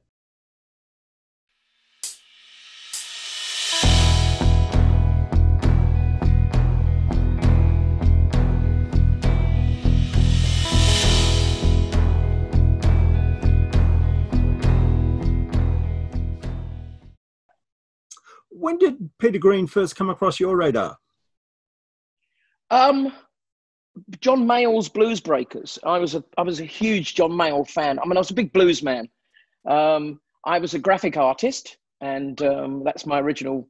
That was my original job, and um, I worked a lot with uh, Island Records. Um, I remember when Free was starting out. In fact, I was actually masquerading a lot of the time as a blues harmonica player, mostly in folk clubs at first. And I went from, if you can understand the progression, from Delta blues, you know, originally liking Son House and Char- Charlie Patton and and uh, you know Blind Lemon Jefferson and Blind Blake and um, Robert Johnson, of course, you know, all the way following almost Muddy Waters Trail as it went up to Chicago and Detroit. Okay. So, you know, the blues became electric. You know, suddenly you've got people like uh, uh, Otis Rush and Buddy Guy and B.B. King and Bobby Bland as a singer, you know. Uh, so I kind of followed that and developed my path towards electric music. And one person who shared that, um, but never wanted to completely leave the Delta behind, was John Mayall.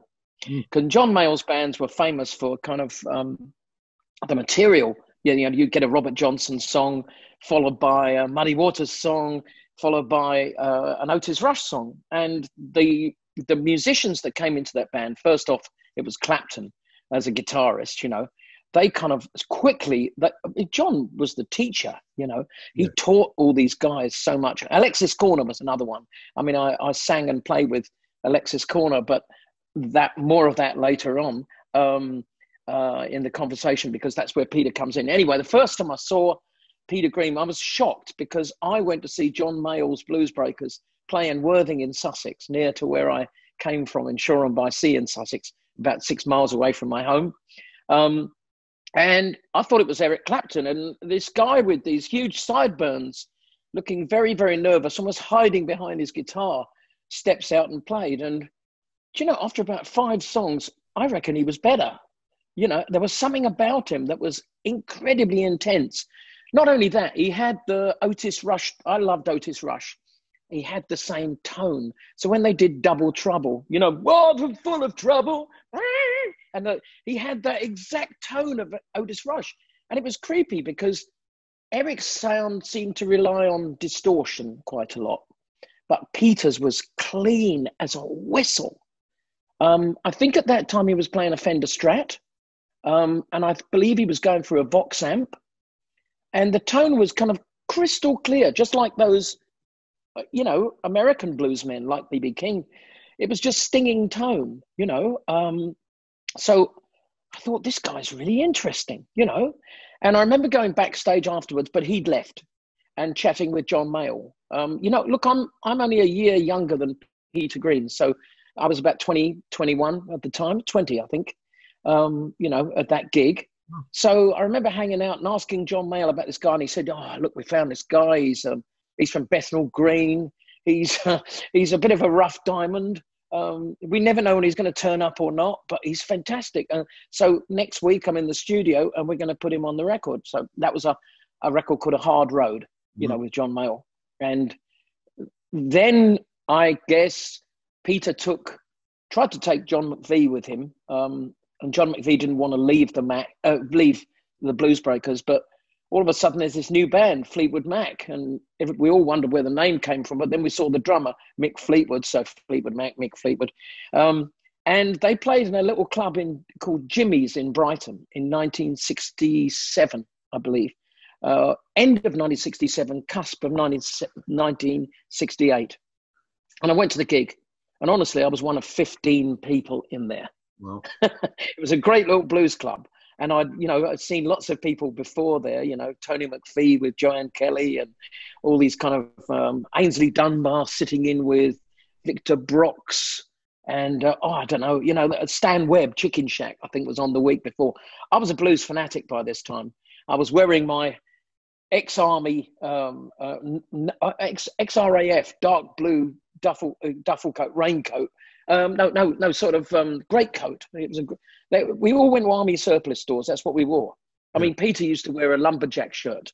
You know, when I first saw him, and he was in the same lumberjack shirt as when I saw him in the Fleetwood Mac as he was in the in the Blues Breakers. So you know, not much change. There was no money around. You know, guys like that would spend everything on their guitars and their gear. You know, so so this band comes on stage, and they're a scruffy bunch of bastards. And Jeremy Spencer, the, the guitarist who's playing this big old, um, oh, I think it was a Framus or something, um, massive, great big semi acoustic. Um, whenever Peter did a song, he'd slip behind the amps and there'd be these hordes of smoke coming out. You knew he was having a joint. And that's what they used to do. And then when Jeremy would be on, Peter would slip behind it, and there'd be this huge pall of smoke coming up from behind the amps because they'd just go and sit behind. There was no dressing room, so you sat behind the amps. And the drummer was crazy. He scared me to death actually because I went backstage afterwards to meet them. Because there were only a few of us there, you know. And um, I think I was talking to Peter, and then Fleetwood came over, and he he had these kind of I don't know how to describe it, but these balls hanging. Have you seen those pictures? soft furry balls hanging down on a piece of string from his belt looking like so when he played the balls would be hanging around and dancing you know like those those metal things that go so look they were a funny mob and and and they were naughty you know were, it was the theme was it was very it was all mischievous laughs between them in jokes and everything you could see it all going on the only guy I think not joining in was McVie, but then you know McVie's always been this. You see him now in Fleetwood Mac, and he never says a word, and he's always standing in the background, you know. Um, so anyway, I so I'm, I'm talking to Peter, and then Fleetwood comes over and starts intimidating me, just just because that's what he was like, you know. And I'm scared, and I want to leave. And Pete grabs hold of my arm, and he said, "No, sit down." He said, "What do you want to know?" I said, "Well, you've got a song um, on the first album, Long Grey Mare, I think it was." and I just I just love the way you play. It's like an acoustic guitar, you know. How do you get that? But you're on the electric. He said, ah, he said, you know, I did something clever with the guitar, and of course, this is the out of phase thing. You know, when you flick to the middle switch, becomes like a Strat. And he said, I was after this clean tone. And I said, yeah, well, when I saw you play in Blues Breakers, I was amazed that you got the same tone. He said, well, I listened to those records and I loved those records and I loved that sound. And, you know, I, I, and he told me that he thought Eric's sound, he loved Eric. He was a fan of Eric, but he said, it's too dirty. I wanted it clean. I thought, you know, I'd leave more space in the band. So he was intelligent, you know, he was already thinking about his place in that John Mayall band and how he would not stand out but be wanted by John, uh, you know. So he was he was po- politic in a way, you know, and I was very very impressed with with that, you know. Mm. And um, so I chatted away, and Jeremy Spencer is lovely chap, was a lovely chap as well. So I was chatting to the two of them with a couple of mates, you know, and we're asking them all sorts of questions, you know, uh, where, when you shot the cover, uh, where's the dustbin? What street is that? You know, oh yeah, you know, and um, you've got this dodgy manager, you know, why are you with him? You know, Clifford Adams, who who gets the writing credit.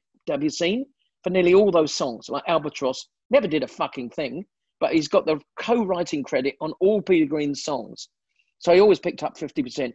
He was the manager as Clifford Davis because he changed his name from Adams. He's CJ Adams, you'll see on the co-writing of all the, those songs, Love That Burns and, you know, um, Stop Messing Around, Albatross, all those songs, you know. Um, you know, there was, I think there was a kind of a little bit of a, who's the leader of this band going on when I saw them that time. That was very early on. Peter would have said that Jeremy was the main man because whenever they played, the first songs were always Jeremy. The first set, Peter would only come on after a third number or so. I saw them many times. I was a huge fan. After seeing that in Jimmy's, I, I hitchhiked up to London. I saw them play the Marquee. I saw them play so many places. The Roundhouse. I saw so many gigs. I could tell you the set list of every show. And Peter would often see me out there go, Oh, it's you again. so I became this boring fan. And he didn't know I played harmonica until I was Duster Bennett, you know, the harmonica player and blues blues singer. Um, he was doing a session. I think they were doing it with some. Uh, who was the um, um Mem- uh, Memphis Slim, the pianist who was often with Muddy Waters. So Memphis Slim is cutting an album in London, and there's a rehearsal, and I hear about the rehearsal. So I go up there, and there's Peter and McVie and um, and Duster Bennett, and I'm kind of like standing on the sidelines. And Duster Bennett knew I could play harmonica because he knew I'd played with Alexis Korner, So he said, "Let him play." Cheeky bugger, because I could hardly play as good as Duster, you know. But so I jammed with them, you know. So I can say that, you know, in a roundabout way, although Peter kind of ignored me, I did jam with Peter Green. You're not a guitarist, but how does a, a great instrumentalist like Peter influence your music? His singing and his tone and his passion. was unbelievable. His timing as well. You know, when you listen to him do, you know, sing "Love That Burns" or "Need Your Love So Bad," his phrasing is. It's up there with Bobby Bland. I'm, I'm sorry, you know, it's really, it's up there with the greats, up there with BB. Um, I don't know what it is about guitarists, you know, Freddie King, Albert King, all the Kings, Otis Rush, Buddy Guy. There's something about their timing of, of what, the, you know, when you, when you, when you pick a, a note, uh, you're a guitarist, I'm sure. Uh, very you know bad. that slight, no, but you know that slight delay when the pick comes down the string and then the sound comes out the amp. I think that that teaches them all to be great singers because timing is of the essence. You know, you can pull that note back. You know, you can pull that note back till it's right at the almost the end of the beat with a guitar. And I think guitarists then use that kind of choice of phrasing, choice of timing to make them great singers. So Peter's voice, I love Peter's voice. It was just pure passion. And his tone was, well, I was a big fan of John Coltrane as well at the same time. So, you know, I mean, and people would ask me, said, who's your favorite singer? I'd go, John Coltrane. Because to me, the voice is, can also be an instrument, you see? The whole thing blurs. And mm. Peter's phrases, must admit, I nicked a few of them, you know. I'd, I'd start a song going, if you could see me, you know, and that's the start of Love That Burns. Bum, bum, bum, dee. It's the same phrasing. So, you know, Peter was a incredible influence on me. I mean, I don't like to profess and say that um, I knew him well. I never, no, not many people did, but I certainly didn't. But he, he would give me a passing glance. And as I say, at that time in Jimmy's, he did speak to me. I think a later time, I was asking about Love That Burns because I said, I'm, I, I'm using your line to sing with. He said, Oh, that's great. He said, What, you, you know, the vocal line? I said, No, the guitar line. He said, Well, that's incredible. He was blown away by that. And I said, What's the song about? And he said, God.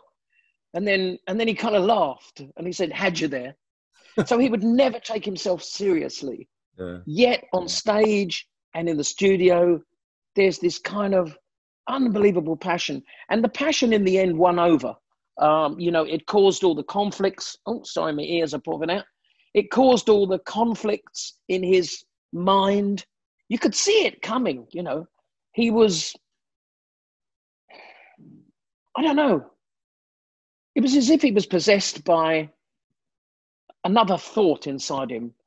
And I don't think he, he liked being famous either, you know, to boot, which is, I think, again, why Cliff Davis or Cliff Adams was in there as the co writer and protector and the shield, you know. Yeah. I mean, Mick Fleetwood didn't need a shield. Um, definitely Jeremy Spencer didn't, but Peter did, you know. But what would you say Peter Green's legacy is? um, being one of the most passionate uh, uh, guitarists, singers, and definitely songwriters of that age. I mean, his his gifts were well, they're obvious. They were there on the records, but I think he had a he had such an influence on people because, you know, when he played, even the position he held the guitar in was, I don't know, more grace than all the other guys. I mean, you know, you know, got Jimmy Jimmy Page slinging it down there and almost insulting his Les Paul. You've got you've got you've got Eric kind of like um, you know it's all in, it's all in the fingers. But Peter, the passion that he played with, if you'd have seen him live, you'd have you'd have understood. And I think that live there was just I've never heard you know when he played that first time with John Mayall, people were talking you know during the Mayall's numbers and everything, but when the solos were on, everybody went silent. You could have heard a pin drop. We realized that, you know, sometimes when you're in the presence of somebody quite, I mean, I, I once flew on a plane with Muhammad Ali, you know, and you know, when you're in the presence of, you're in what, you know, there's one of the, I did album covers for Bob Marley, and later I supported Bob Marley in America and spending time with Bob, you know, oh, Ayrton Senna was another one. You know, you realize when you're with the greats, and I'd, I'd put Peter in there with Ali, Senna, yeah, any of them, you know. He was, he was a god. He was a god on earth. I, I don't know how else to describe it, but there was something very special happening in that man. It was divine intervention that brought him to us. And that comes over in the music, you know. Uh, the battle with the devil, you know, Green Manalishi. Um, the, the, the, the hatred of fame, man of the world. Um, the beauty and simplicity of Albatross, you know. Need Your Love So Bad, one of the most passionate vocals ever sung by an Englishman, which is interesting, isn't it? Or an English, you know, an Anglo Saxon rather than a black guy. You know, I mean, that that his performance on that on that song, you know, Jesus, it's incredible. Yeah. You think you're listening to a black guy, you do, and when he plays, you know, it could be Otis or Otis Rush or BB or Freddie King. He's up there in that league. He's equal to them, and not many people are. You know, Paul Kossoff and Eric Clapton would have always said that, oh no, they're, they're, better, they're better than me. I don't think Peter ever got a chance to say it, but BB King said it. He said, that guy really scares me. And I'm, I'm so glad I got to, you know, to be in his presence, to see him up close, to shake his hand, to talk to him. Um, as I say, I never got to know him, um, but I was very aware of, of, that he was a great. Yeah. And um, you know, and and kind of after those days when he left Fleetwood Mac, I got to say I was very depressed because um, after Green Manalishi and you heard he gave everything away, and I never saw him in the later times. I know friends of mine who did see him and friends who didn't have very nice episodes with him, but um, you know, I didn't really, I didn't really sort of want to see him in Splinter Group and all those things because I remembered that amazing guy and a friend, friendly guy as well. You know, shy and friendly, Hmm. um, gracious chap. You know. I, my mother's favorite song was Albatross, and I think it's a great instrumental. You know, well, is just a classic.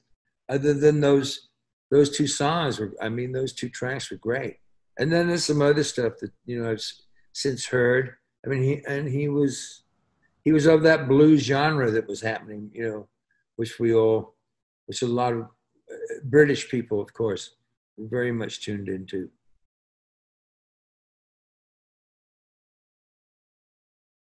By the time I hit 16, and um, you, you know, you had this amazing flowering of British guitarists that um, not only were they British, but they they were starting to really um, dominate things. You know, Jeff Beck with the Yardbirds, um, Jimmy Page.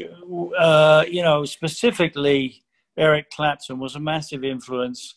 Um, you know, his debut with John Mayall's Blues Breakers um, was really something that um, jolted us all, you know, because we hadn't particularly listened to a lot of American blues players. So that was our pathway, our entry into blues. And really, for me, it all came to a head with Peter Green because that's when I was old enough to really appreciate blues playing and, and the and the, the intense emotion behind it. And I hadn't had the, the benefit of seeing Eric Clapton live, but I did get the benefit of seeing Peter Green. Um, really, it was their inaugural gig with uh, Peter Green's Fleetwood Mac in 1967. So I was at, the tender age of 17. I'd already seen a lot of um, amazing bands, you know, uh, bands like the Kinks, The Who. Um, I saw Cream, you know, their warm up gig uh, on the same festival, which was the Windsor Jazz and Blues Festival in 1967. So you know, I was and I was listening to stuff. Um, you know, like a lot of teenagers, you know, we'd have record record record evenings at friends' houses, and we were getting records from the United States, specifically things like like um, Mothers of Invention, Frank Zappa, and, and so you know, our, our minds were literally being blown. But as a guitar player, obviously you know, I come up through the ranks playing initially uh, surf style music, the music of Hank B. Marvin and the Shadows, and then also when I was about 14, 15, started playing a lot of soul music. And before the blues, I was really initiated into blue beat and soul. And then then I then I got you know I thought I was mostly a rhythm guitar player at that time, but it was really uh, you know, I, I, to venture into single string soloing after hearing Clapton and specifically Peter Green. And Peter Green moved me so much in concert that that was a phenomenal um, uh, inspiration to me personally. Now, the inspiration that got, we got from Peter Green and Fleetwood Mac as a band, that came a couple of years later.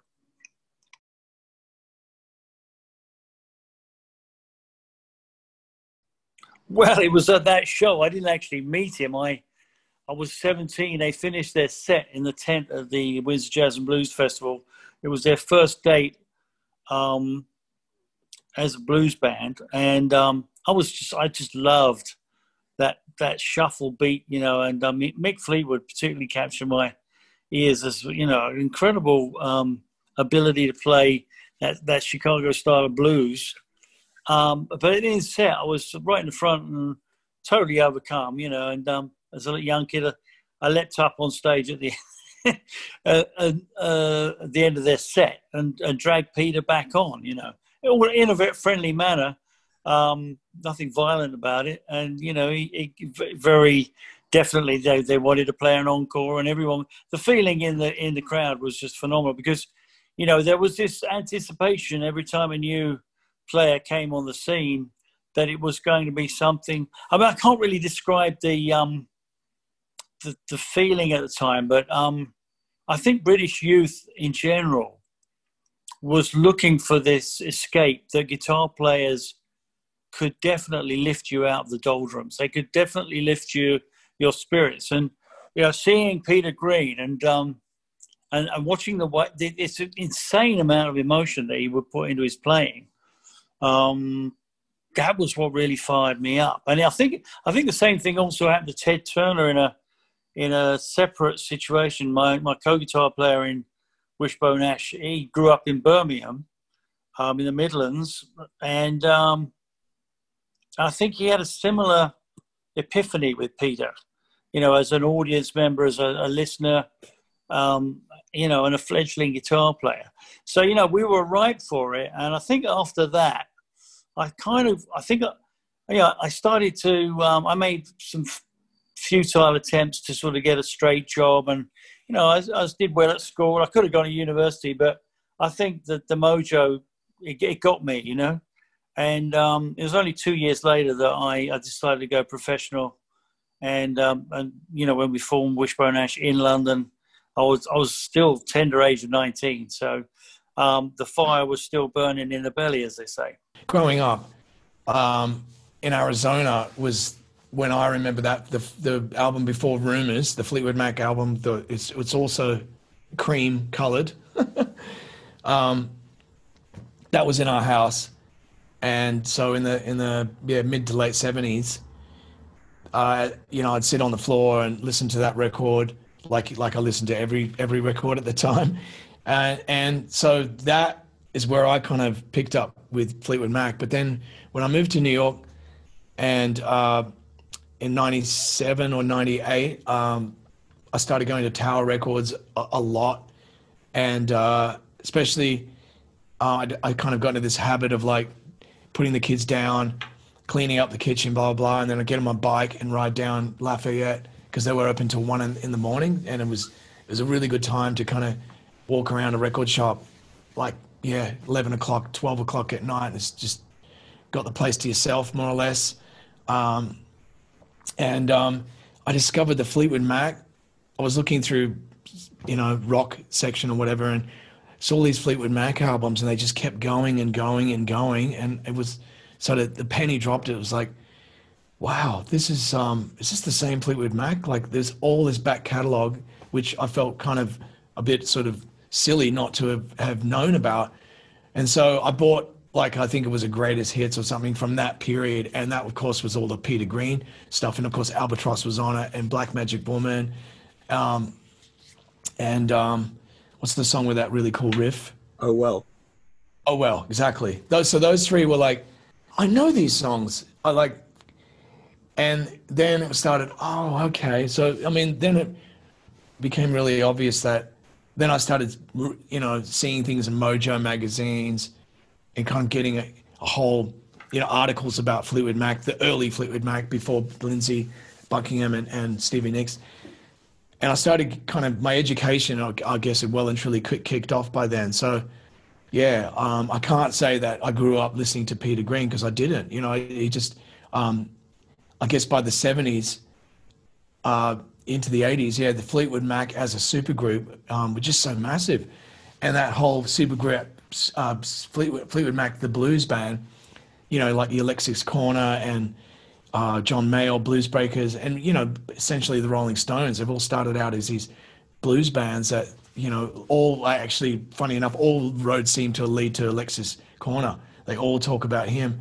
And um, yeah, Fleetwood Mac were definitely you know, a big, big piece of that British blues thing. But again, by the by the time album orientated rock had come along, it, you know, the new Fleetwood Mac was the one that everyone knew. So um, and and and understandably, those albums were massive, you know, and what a, an amazing band they turned out to be. I think the adding of Christine McVie and um, Stevie was just such a great great thing. The two females in that band. Um, so yeah, it's it's um, it's it's it's great to kind of kind of uh, to, to, discover something like that. That's you know you feel like it's it, it it's a real discover. Was for me. I felt like I discovered like a treasure trove of stuff. Mm-hmm. What, what did you like about Peter's playing? Well, I mean, he's incredible. I mean, like I think Fleetwood Mac must. I mean, if you look, they they had quite an amazing history of just always having really good uh, very um, lyrical and eloquent sort of players in the band. You know, for basically what is essentially a, a, rhythm section, bass and drums. You know, John McVie and, and Mick Fleetwood. They would they had good yeah good instincts to like know who was going to be right for the band. Um, Peter Green, uh, you know, he had he had you know the songwriting thing, which is amazing. Of course, I grew up with Santana's version of Black Magic Woman. That was the one I knew. I didn't know that version. So when you hear the original, it, it's like it's all there, you know. And, and I just love his his playing is is is yeah so lyrical. It really um, is probably one of the most lyrical players I, have I've come across as far as um, you know. It's it's rock guitar, yes. It's you know.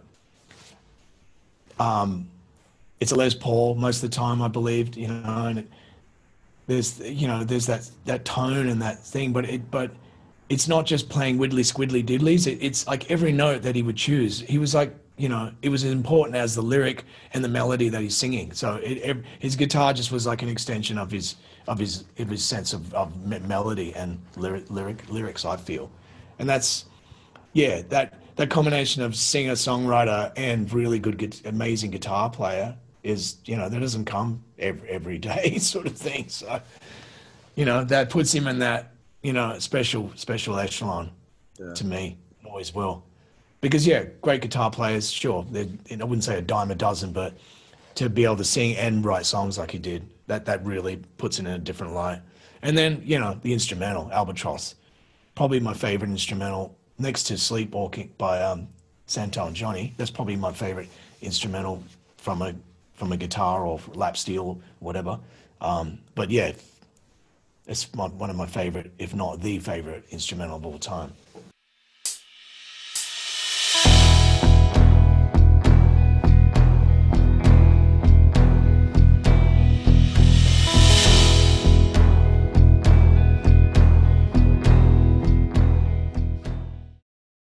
When did Peter Green first come across your radar? Uh, about 1967, my um, friend of mine uh, turned me on to the John Mayall albums with, Eric Clapton, and then he said, "And wait you hear the second one. The guy's even even better in some ways. Peter Green. Oh, Peter Green."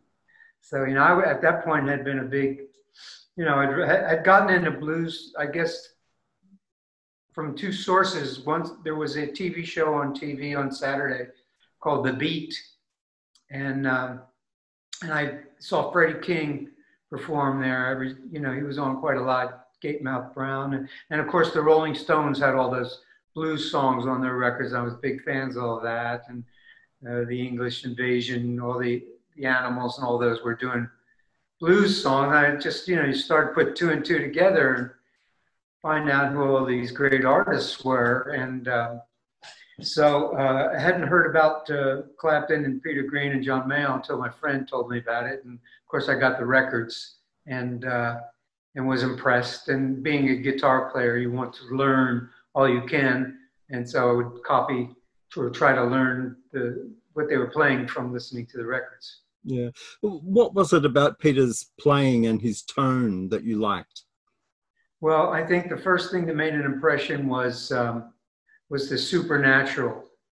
His tone on the first on on that Mayall record, A Hard Road, was sort of borrowed in a sense from the first album that featured uh, Eric Clapton.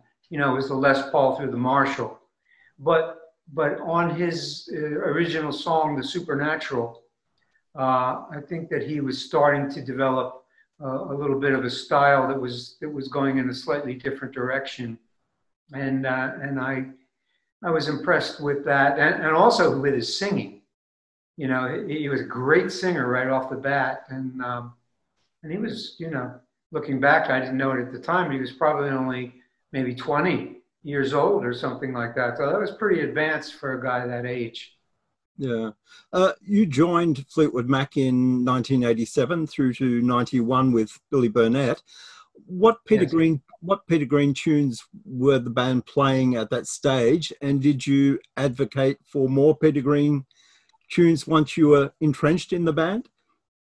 They weren't doing any Peter Green. They weren't doing anything from that era. And I said, wow, well, this is my chance because I know this material. And so I went to John and Mick.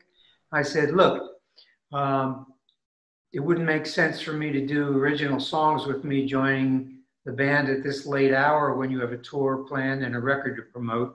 Well, why not devote a little section of the of the set to the original Peter Green era Fleetwood Mac?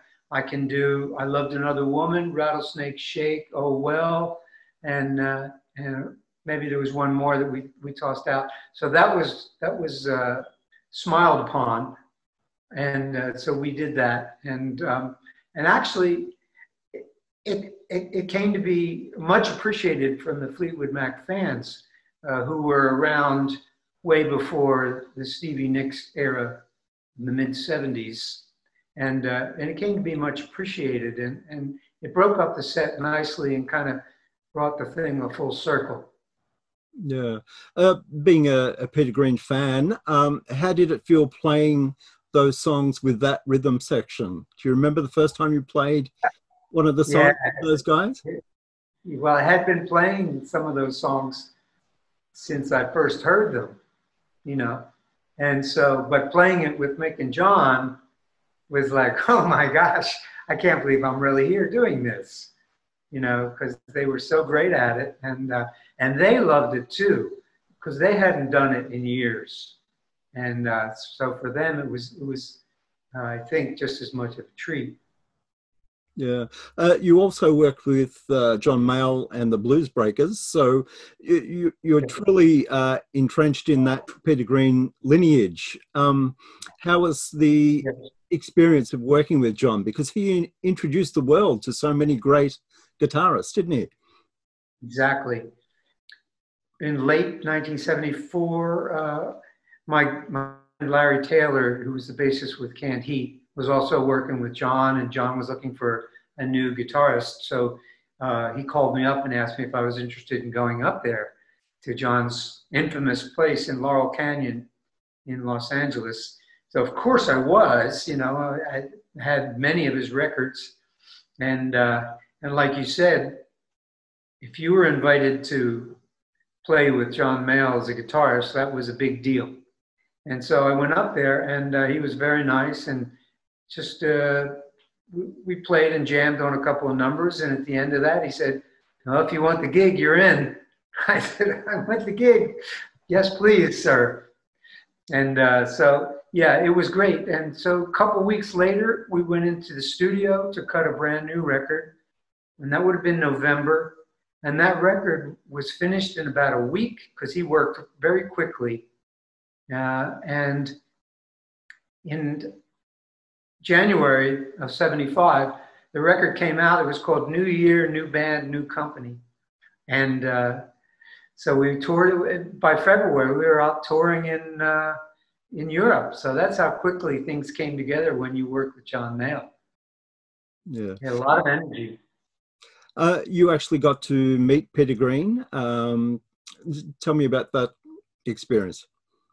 Well, that was many years later after that. Um, this would have been 1999.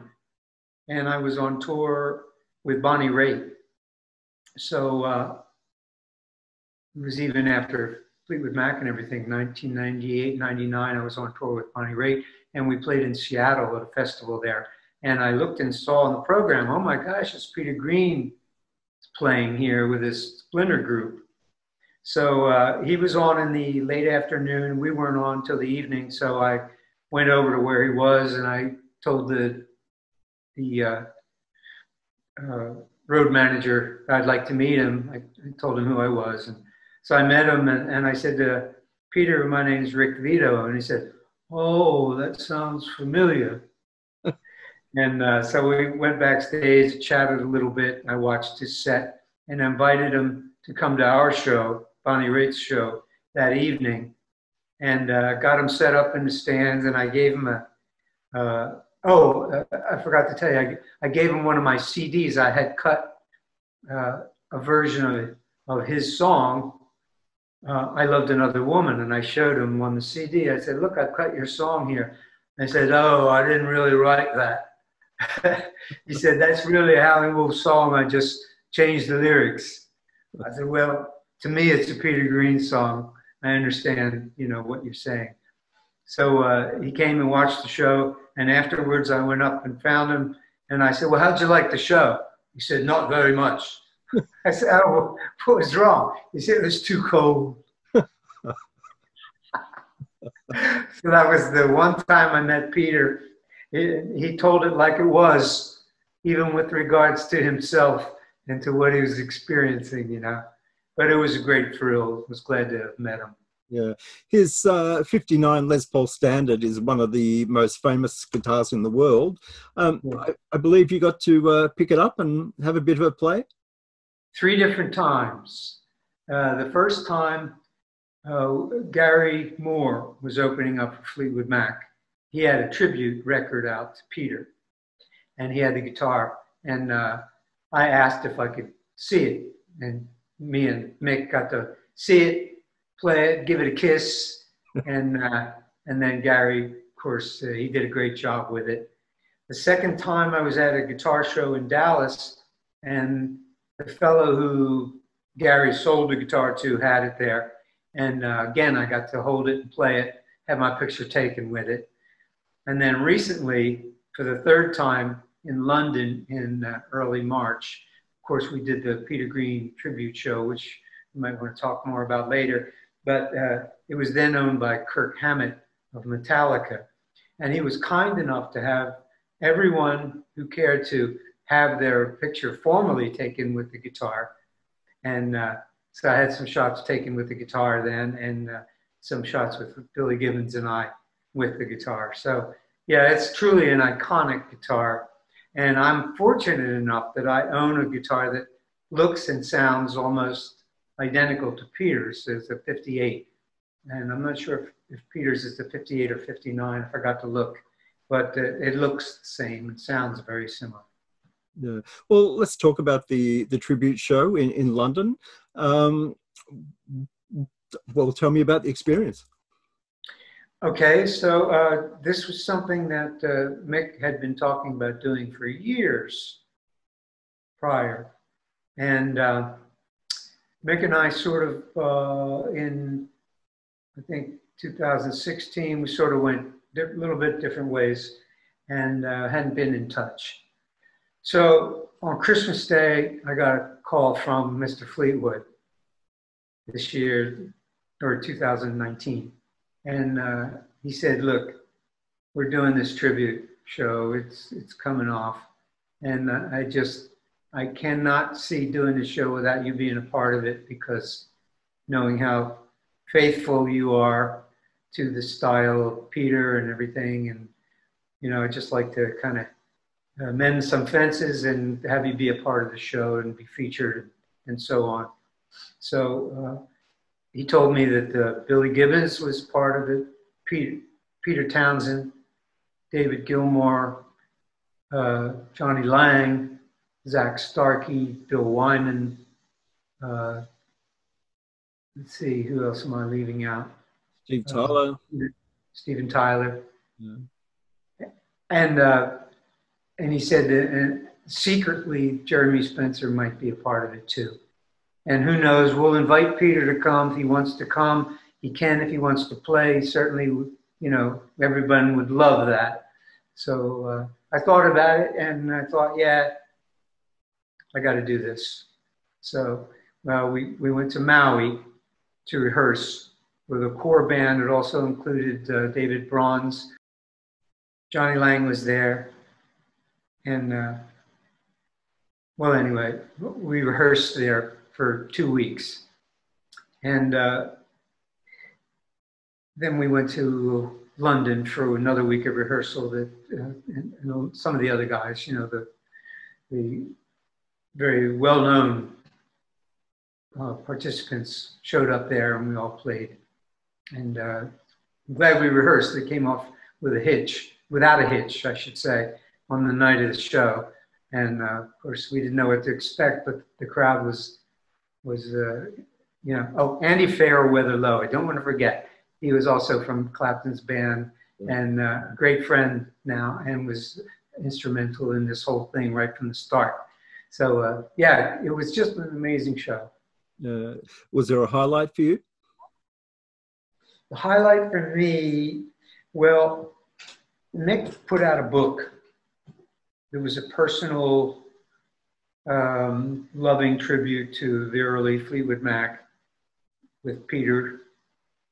Um, and the title of the book was um, Love That Burns.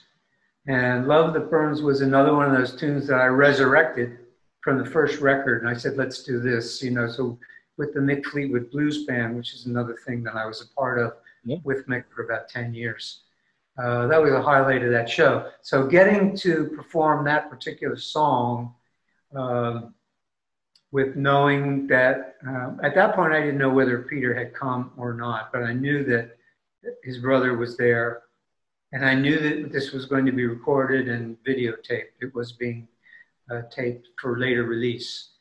Knowing that I got to do that song, which was maybe maybe my favorite uh, Peter's early songs, it was for me personally the highlight of the show.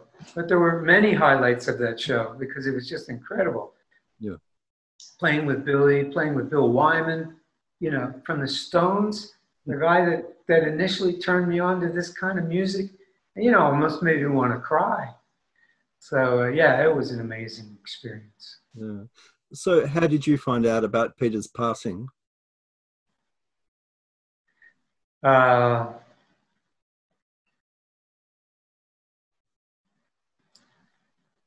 I think uh, someone posted it on Facebook, and I I looked it up on uh, BBC, and found out that it was true. So I quickly did a fast little tribute to him uh, on Facebook, and you know, there was many more to come, but I certainly wanted to. And then I, con- I contacted Mick, and he, he called me back, very distraught, of course, very upset, and we talked about, you know, what he meant to both of us, and uh, the man and the music. Yeah. Uh, what do you think Peter Green's legacy is? I think Peter, Peter at his peak was the epitome of incredible singer, incredible songwriter, incredible band leader, incredible guitar player who took the styles of, say, B.B. King, Howlin' Wolf, Sonny Boy Williamson, Otis Rush, and probably Freddie King and you know the seminal blues guys, and fused that into a style, and blend and was one of the vanguards of of along with the Stones and Eric Clapton of introducing that and blending it with some rock influences that sort of influenced the generation. Uh, certainly influenced the guitarists that were to follow, myself included. Santana comes to mind, Billy Gibbons comes to mind, many, many of us. Just, it's something that wasn't only heard, it was felt. But it, I saw him live, and I saw the original Mac live in 69, December, a few days before they went to, or maybe it was 68, 68, I believe, before they went to Chicago to record the, the Blues Jam at Chess double record. And they were at their peak. And seeing him live, I was able to see everything that had not been captured on record to date. You know, there was two Fleetwood Mac records out and the Mayall album. But this went so far past that. I had seen everybody. I'd seen Clapton and Hendrix, and although I thought Hendrix was was amazing, I saw Jeff Beck. I saw everybody. But when I saw him, it was truly something not only special, but something that resonated with me personally and gave me a sort of career direction. That's the way I want to play. Understated, really paying a lot of attention to, to tone and what not to play and when to let it go. You know, so that was what was really special about him for me.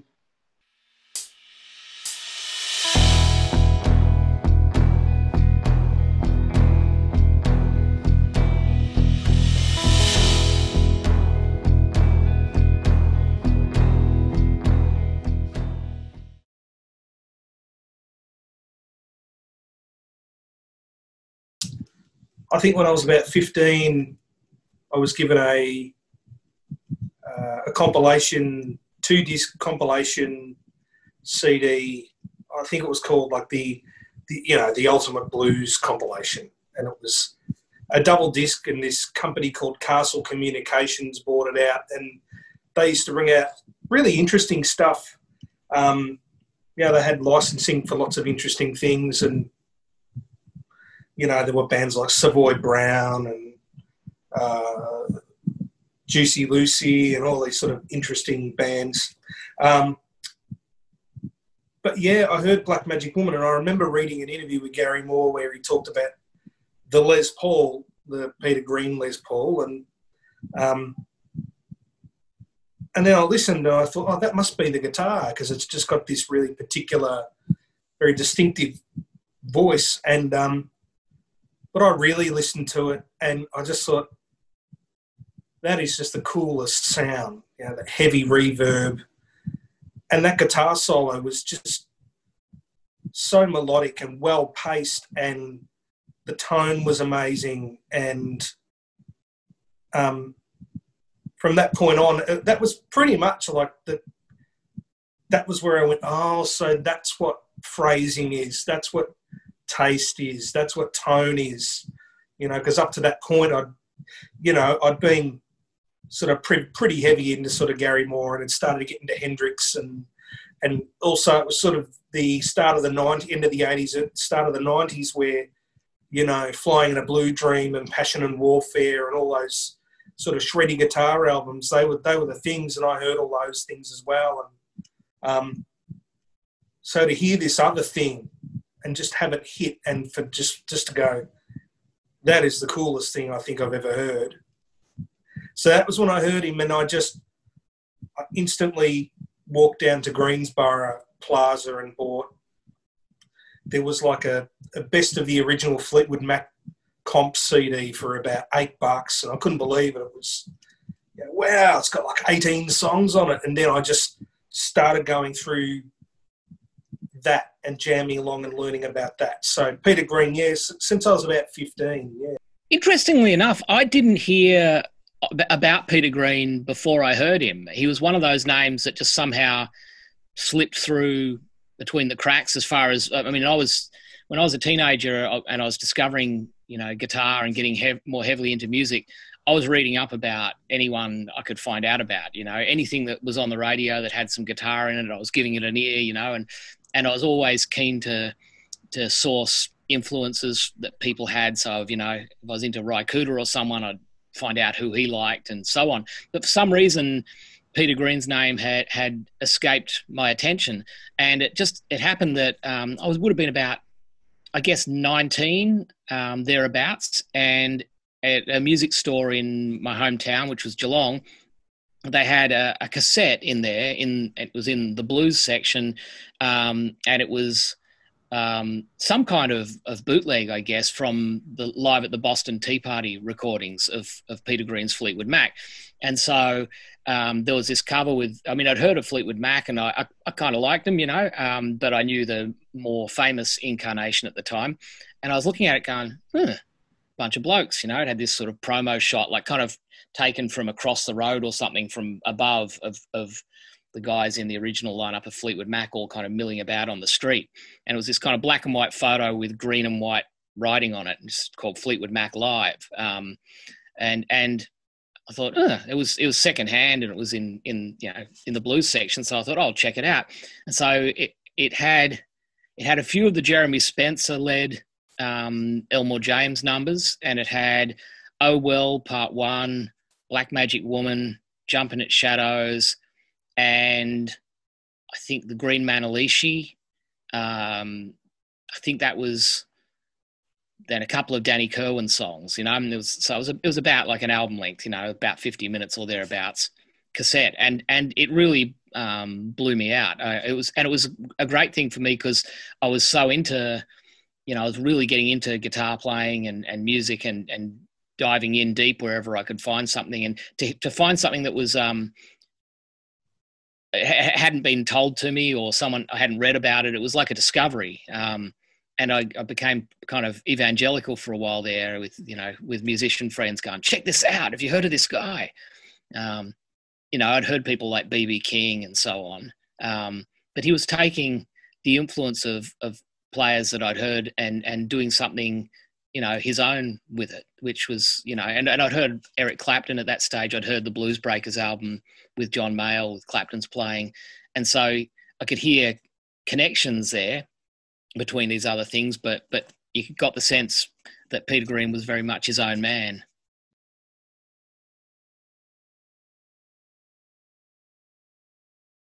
Um, I was really happy with the Splinter Group.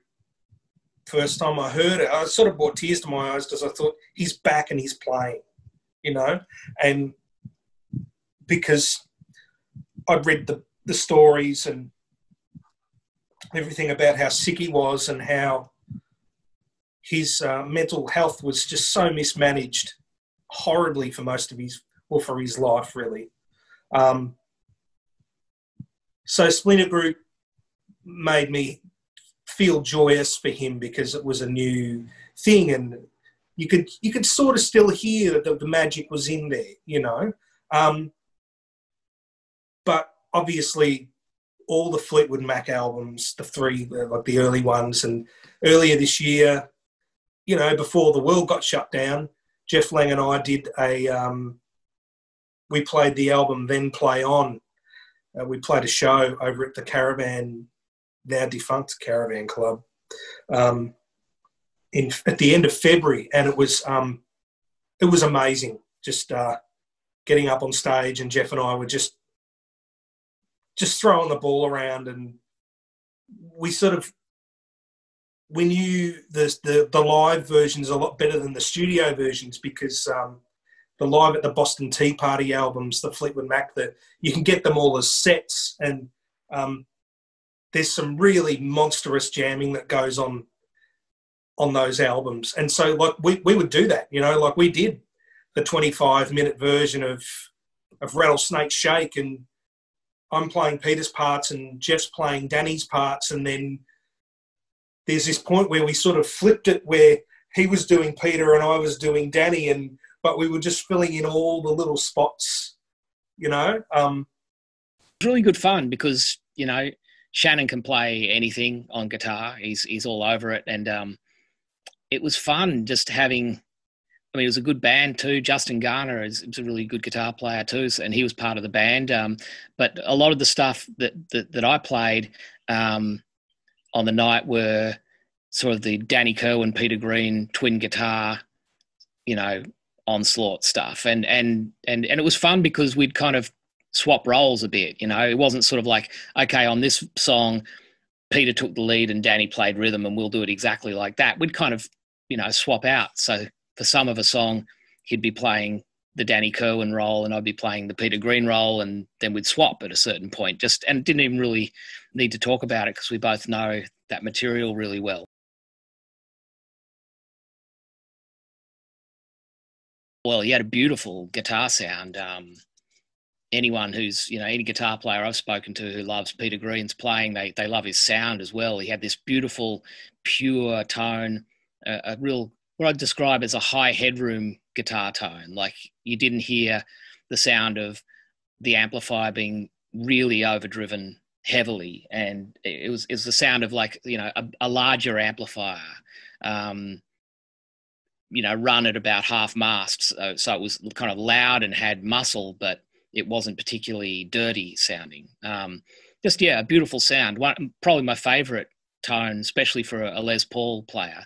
Um, yeah, I, I, love his guitar sound. Just a beautiful and a beautiful touch. You know, he had wonderful phrasing as a player, and um, yeah, that that kind of beautiful pure tone was was always really appealing. Always, you know, just the right amount of of reverb in his sound when he used it. When he didn't use it, it always sounded just beautiful and and, and sweet. Um, you know, and he could play with fire and, and and you know a fair amount of treble, but um, yeah, he always just seemed to be working his tone with his hands and with the controls of his guitar in, in a way that, you know, he had that out of phase sound that everyone kind of who loves his playing also knows about. But he he worked that, you know, you can hear on these recordings where he'd maybe, you know, have it in the middle position and have his both his volume controls set pretty low, so it was kind of very clean and thin and and out of phase. But then he'd sort of wind in his neck pickups volume, and it would get fatter and louder. And you know, he was always working that stuff through, especially on those live recordings. You can hear him working on it, working his tone with his hands and with the controls as he goes along. Very, you know, in a, in a really masterful way. What I really dig is the fact that he stuck to his guns and did what he wanted to do regardless.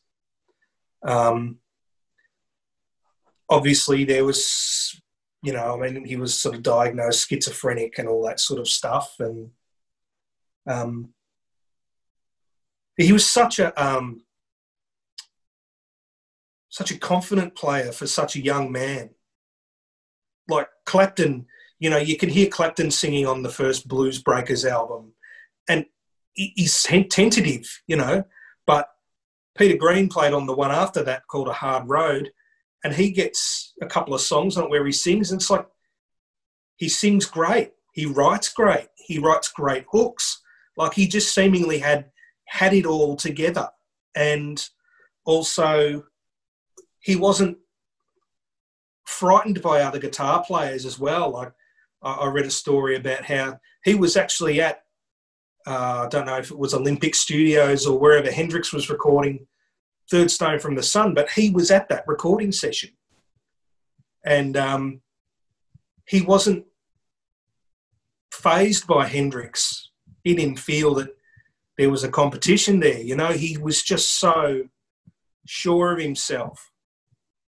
And um, that's the amazing thing, you know, because you hear you hear young young men when they get into their bands and stuff like that. And then when they get old, it's like, oh, he's found his feet and he's doing his thing. But Peter Green, he, he kind of was fully formed, you know. He could do all of that stuff.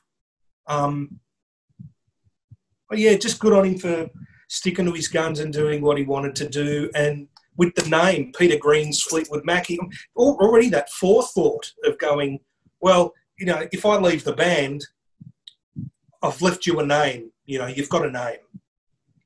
That name, that name.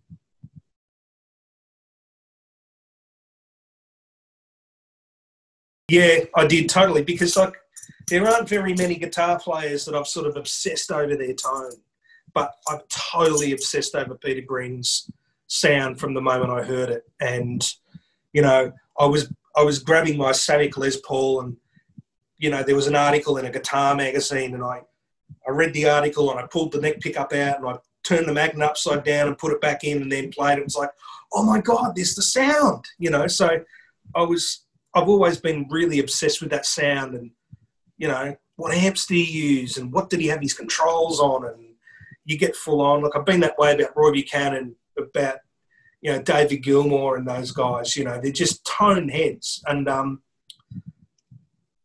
like to the point of watching Peter Green's hands. Like I remember the first time I actually saw footage, and the thing that was amazing was like he had really beautiful hands, like really gorgeous, gorgeous hands, like really long fingers and but just watching his touch, he didn't strangle the shit out of the guitar. He just touched everything the way it was meant to be touched, you know, meant to be. Um, and so, yeah, I got totally caught up in the, the history, the provenance of the guitar, um, how it came to sound that way.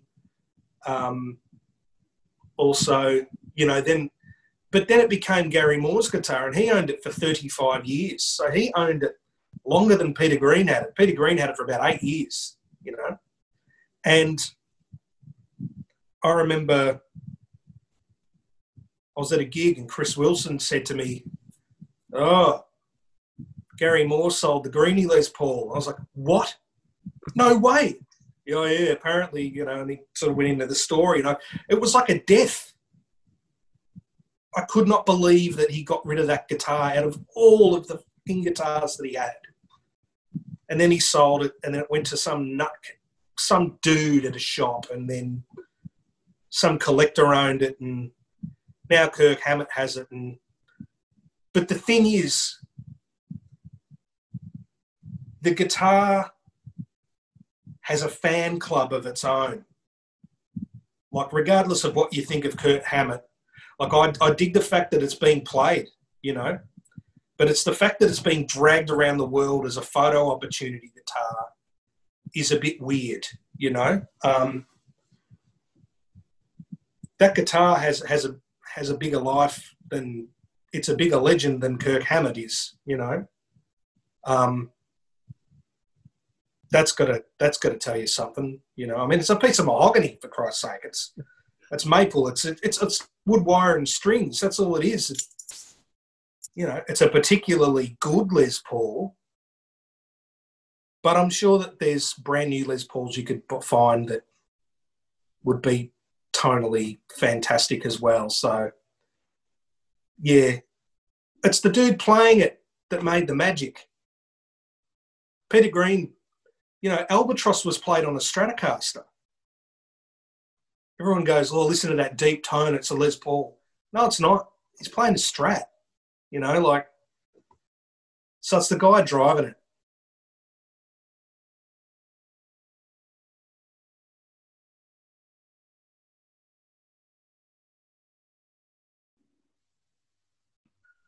Really, I am like, you know me, you know, I post things and I only post things really when I'm feeling feeling it or feeling like doing it. And everyone was sharing songs, and I couldn't really find any words to actually express express it. But you know, the best thing I could do really was show um, show uh,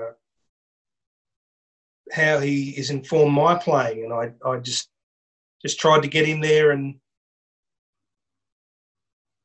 try and eke out the parts of my playing that I sort of filtered through from Peter Green. So really, that's what I'm conveying is this space, you know, um, tone and like the big reverb sound, and you know the constant changing of tone fiddling with your volume and uh, volume controls. You know, you can get so many different sounds if you're just committed to um, to, to going down that rabbit hole. And so really that's I guess it was, you know, a bit of a bit of a thank you and again not wanting to do it with words. You know, like sometimes I would you know, if you can just give an order to people will get it. You know, sometimes you just, it's like I could sit here and tell you why I like this album or that album, but the best thing for me to do would be to actually sit you down and play some songs and go, there, that, you know.